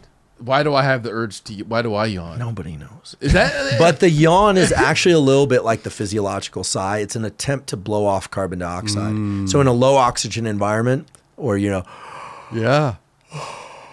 You're filling up those Yeah. Oh. sacks. So are they breathing? They're kind of. They're probably breathing the same stuff yeah, you are. yeah. That's so probably, so that's probably why. But there does seem to be some mimicry there. A lot of animals yawn too. Yeah. You know, my Yeah. cat just Oh, wake yeah. up from a nap. She ah, yawns. I'm like, oh, look at little Larry's yawning. Dogs you have an anxious yawn if they're stressed. They'll sometimes go, Oh yeah. I've and then they that. also have a real yawn. Yeah, yeah, yeah. Um, Huh. There are a lot of behaviors like uh, here's a there's an interesting paper published recently that looked at mounting behavior. Do any of you have dogs? Mount- oh, know. dogs, mounting behavior. mounting behaviors, humping. Sure, And sure. um, there's a separate circuit in the brain for dominance humping versus mating humping. Because female dogs will, will hump other dogs. Oh, yeah, yeah, right. yeah, yeah, They're yeah. clearly they're not trying to Oh, reproduce. okay, They're they're not they're not stupid. It's a dominance thing. Right. And you see this sometimes. Like actually, I saw one uh, UFC fight, uh, and at the end of the round, the guy like humped the other guy. He was trying to tell him like, you know, I I you. dominated you. wow. Yeah. Well, the whole thing Hump of mounting and something? submission and all that. What's that? Hump his leg. No, he humped. Oh, oh, I mean, you know, yeah. Oh. I mean, they He kept the, that role. Yeah. He, Yeah. He went extra. Yeah, He yeah, went he went extra. So, uh, you know, the, the point is that the same behaviors can have different underlying motivations, right? A lot of the time. Mm-hmm. So, you know, I, I guess I just make that point that. Why did I make them? I think I just want to tell the humping I story. love that. I love that. the guy he's was d- displaying his dominance. He humped him. Uh, so you asked about brain function Sure. and, and health, and I, I think we covered a, a good number of them. Uh, yeah, yeah, yeah. You know, I think that there what are ginkgo biloba? Okay, so there's okay, so then there's all the cognitive nootropic Yeah. cognitive enhancement. Okay. Sure. I mean, I'm not a big fan of people taking things like Adderall, Ritalin, Mm-hmm. modafinil or, or modafinil unless they have a clinical need. Those are drugs that were developed for ADHD and that were developed for narcolepsy. Um, and they will, you know, I think 25% of college students nowadays take Ritalin or Adderall at some point. Wow. Yeah, I mean, it's like huge. a That's yeah, a it's speed. percentage. That's it's pure. It is chemically, it is speed, right? And it it's uh, habit forming. It causes release of dopamine, epinephrine, and all that. But it is habit forming. If someone has a clinical need, fine. If you Yeah. don't, it's it's truly bad news. Um, there are some things that can give you a heightened state of alertness and focus for learning. Things like um, alpha GPC, taken at you know 300 or 600 milligrams. It's a choline donor. So chol- you have a molecule in your brain called acetylcholine that's involved in focus and learning. So occasional use, probably fine. You know, it's it's uh, actually as you get older, alpha GPC has been shown to offset some cognitive decline. So that's good. Okay. Uh, but none of you. I mean, you don't have any. I mean, What was your name again? uh, concussions. You probably don't have any concussions. no, I never really hit my head. No head big that head much. bangers? No, No. no, no, no. No. Yeah. But for the guys who hit their heads a bunch, Right. they are definitely, you know, Prone headed it. for it. I mean, not as bad as say like a hockey player or something, but Football player. Football. yeah, I don't know that many skate. You don't hear about that many skateboarders with CTE. It doesn't seem to be a thing God, I because mean, you can knee bail. Like the vert guys are actually at, at the biggest risk, but you can knee bail, so you're not really banging your head. Ah, Man, the way that people are jumping down rails and I mean, people get bowls and- smoked, yeah, yeah. you've But they hit a their heads? lot of it. Yeah. Yeah, I've seen people hit their heads. it happens. I've It happens. Yeah. homie back in the day. He just went cold. Just I thought he died. Yeah. it was really Well, the number one thing about a head injury is don't get a second head injury anytime soon or at all. There's a t- so-called two-hit model where this is also true for hearing loss. If you go to a loud concert and then play your earbuds or whatever, the maximum, you're more likely to lose your hearing. Oh, interesting. doesn't come back. Yeah, there's this two-hit model. The, the two things combined. Yeah. Uh, to give a kind of exponential effect. Um, a not good effect. Uh, head hits are the same. And then, you know, if you do get a head hit, that's a good night to not drink, right? You know, and not just because you can die, that too, but drinking, less oxygen, hypoxia in the brain, neurons need oxygen. Not not good. Right. But but you know, here again, now I'm sounding like the you know the parent telling skateboarders to guard their No, their but brains. it's important. It's You know, important I mean, things. Yeah, I mean, except for that to- one guy, I don't know who he is. Like, people don't wear a helmet on the street, right? Right. So, I mean, and it's unlikely to happen anytime soon. Um, and I, you know, I think that because even in the Olympics, they let them know no No helmets, right? helmets. Yeah. At least that that was Uh, uh, accurate. if you're under a certain age, you If you're under 18, Yeah. If if you're skating the park, you have to wear a helmet. Like the Right. park, the that makes sense. There was never any shame in wearing helmets on. No, vert. but they, they they didn't. Uh, I don't think the skaters wanted that. They were like, we don't want to wear helmets in um, and I- on vert. uh, in in the the park. park, In the park, park. yeah. Oh, in, in the, the trans, park. in Which the so transition, the big Yeah. transition Yeah, yeah, park. And I'm like, dude, They're doing, but they're like used to. They're like they know what they're doing, kind of like how street skaters do, but they're a higher risk. I feel like, bro. I don't know. I mean, it feels great to skateboard without a helmet. Yeah. Just like I'm sure it feels great to ride a motorcycle without a helmet. I've never done it, but um, I mean, I growing up, I didn't know any kids that wore a helmet. Unless you went to like a skate park or No, something like Power. vert, Or like you're yeah, yeah, if it was required or enforced helmet, something. But yeah. Yeah, where it was required. Yeah, and obviously I'm a neuroscientist. So I'm not going to tell people. You know, people should avoid head damage as much as they can. Yeah. But yeah, I mean, everybody I know that skate big, big vert seems sharp, and all those guys that are doing Yeah, the mega ramp thing, they all Definitely. they all buckle all- up. yeah. Except except Clay and some of those other guys occasionally. And look, they're gnarly. Right. And they they were probably born gnarly. You know. Yeah. Um. So who knows? I mean, gotta Yeah. ma- it's a it's a free world, but you gotta you gotta pay the price. You gotta protect the dome, attention, bro. bro. You gotta protect the Yeah. You gotta protect the dome. Yeah. Yeah, you Listen, do. we wanted to.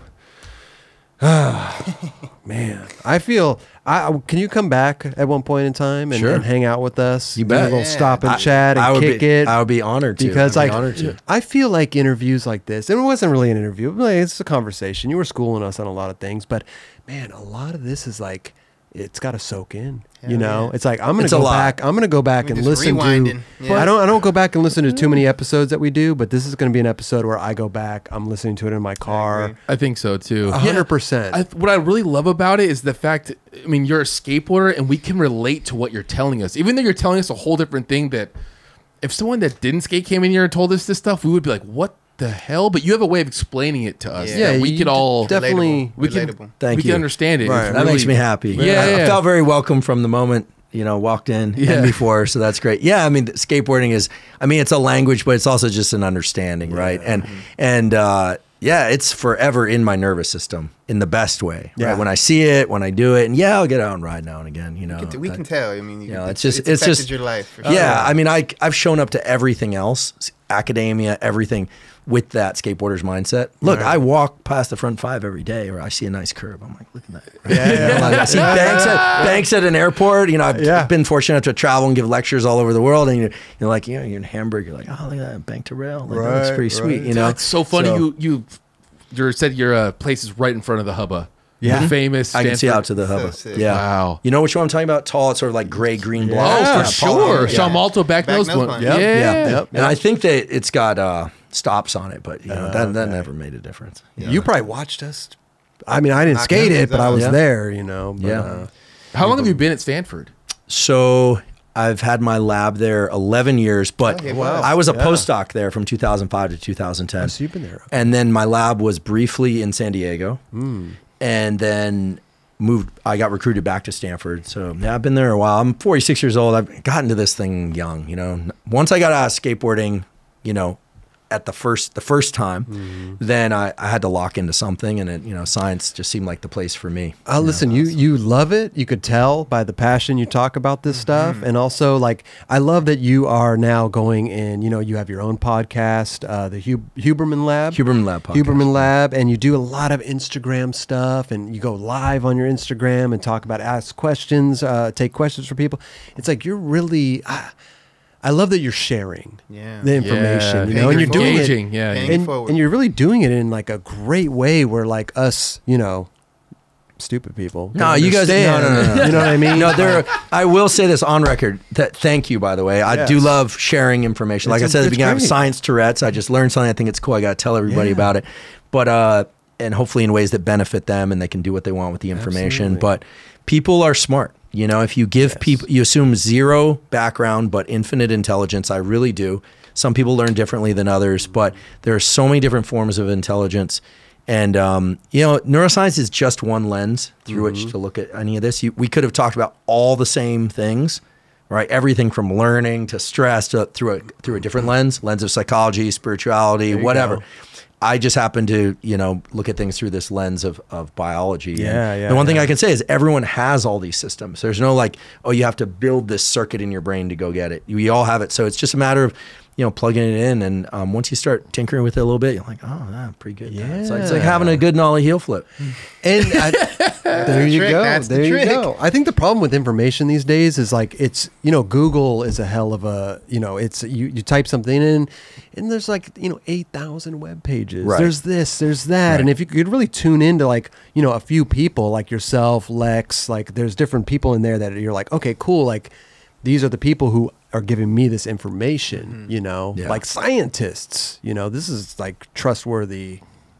Yeah. Yeah. No, I mean, knowing You know? who to get your information from is tricky. It is. You know, it's like if somebody's showing up and they want to learn how to skateboard, I mean, should they look at an Instagram? Maybe somebody should teach kids how to skateboard on Instagram. That, I mean, there's YouTube. Yeah? uh, Are there? th- YouTube. There's YouTubers YouTube, that uh, that are doing that. Okay. You know, um, and it's great. You know, it's like they're the entry point for the skateboarders. You know, and they have their own brands and all that stuff. Oh, wow. Okay. It's it's it's, So it's it's a whole quite. thing. It's it a- goes deep. it's Yeah, a big Yeah, it goes Okay. deep. As long But- as people actually get out there and do it, because I always say you can watch skateboarding endlessly, but Mm-hmm, you actually just have to get out there and let your nervous your nervous system can't learn just by observation. Right. You actually have to feel it. You, you got to slam a few Yeah, times. oh, It's just Get the out there and do it. Yeah. hundred percent. But but thank you for uh, doing what you do, and uh, it was so amazing. I like to be honest with you. I never really heard of you or was aware of you. I There's should no say. reason to be. Like I said at the Before the beginning, I was not one of the big guys. Jenkem. bro before the Jenkem thing and right when I, I was like oh my god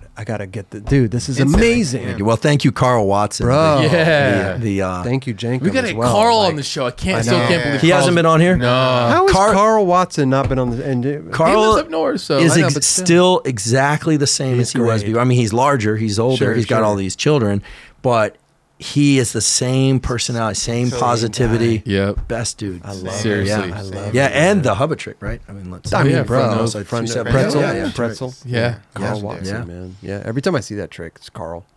Karl Watson. Are anybody else doing else, Karl? That's what I'm saying. Yeah, Yeah. Karl, Karl Watson. You Yeah. know, but uh, listen, I we're gonna wrap it up. Can we give you some Nine Club stuff to take home? Maybe a little mug or something. would put love your that. put your morning coffee in, but don't drink the coffee about 90 minutes after you wake up. Couple Uh, we do the honors, hours. bro. A couple Yeah. hours. Yeah, yeah. Great. The coffee thing, see, but it's these little tidbits. You know what I mean? Yeah, Like, and, and you don't have to do it things. every day. People hear something they're like, I do it every day. no, like Right, right, try right. it. If you don't, I mean, try it. If you don't like it, don't do it again. Yeah, yeah, yeah, you know, yeah. see how you feel.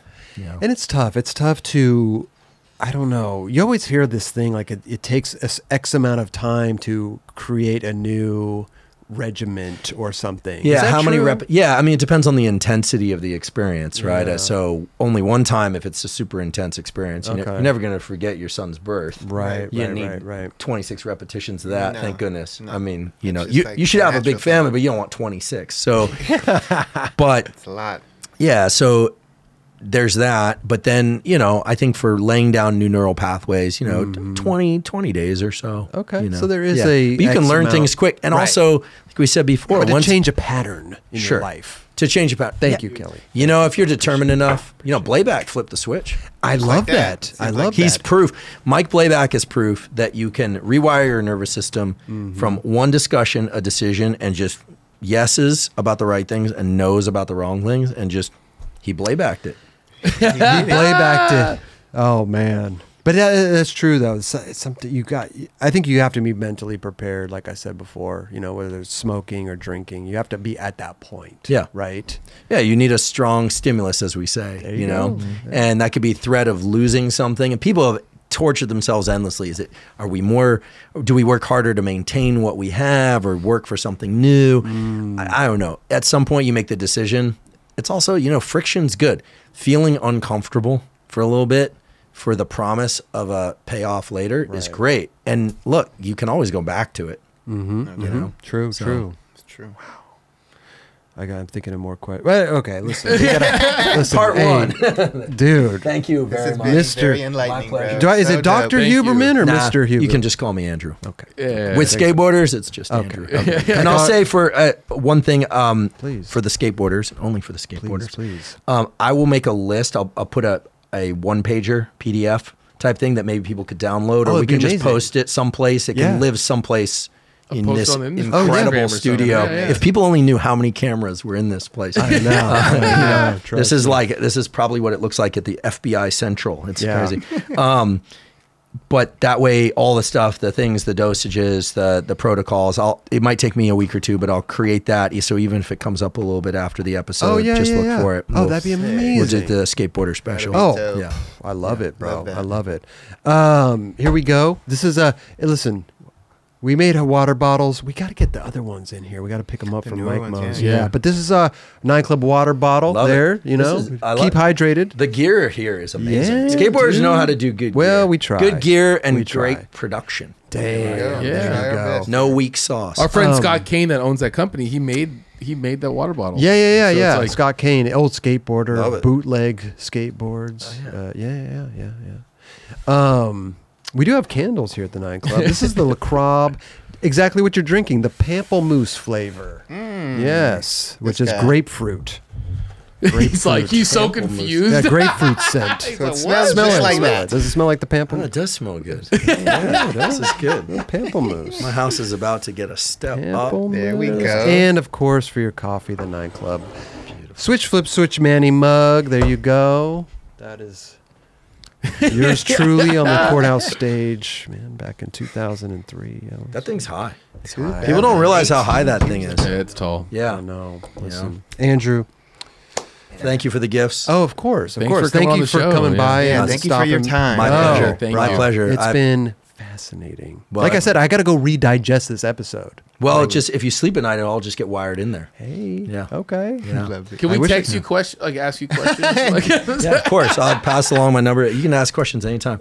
And uh, thank you. I learned a ton. I had a great time. bro. I feel uh, like this was time very well spent. Oh, and, yes. Uh, I'll be back. Please Nice, come Yeah. back. Oh my God, Andrew Huberman. Oh my God. I don't want this to end. You want to keep it going? Why do I? No.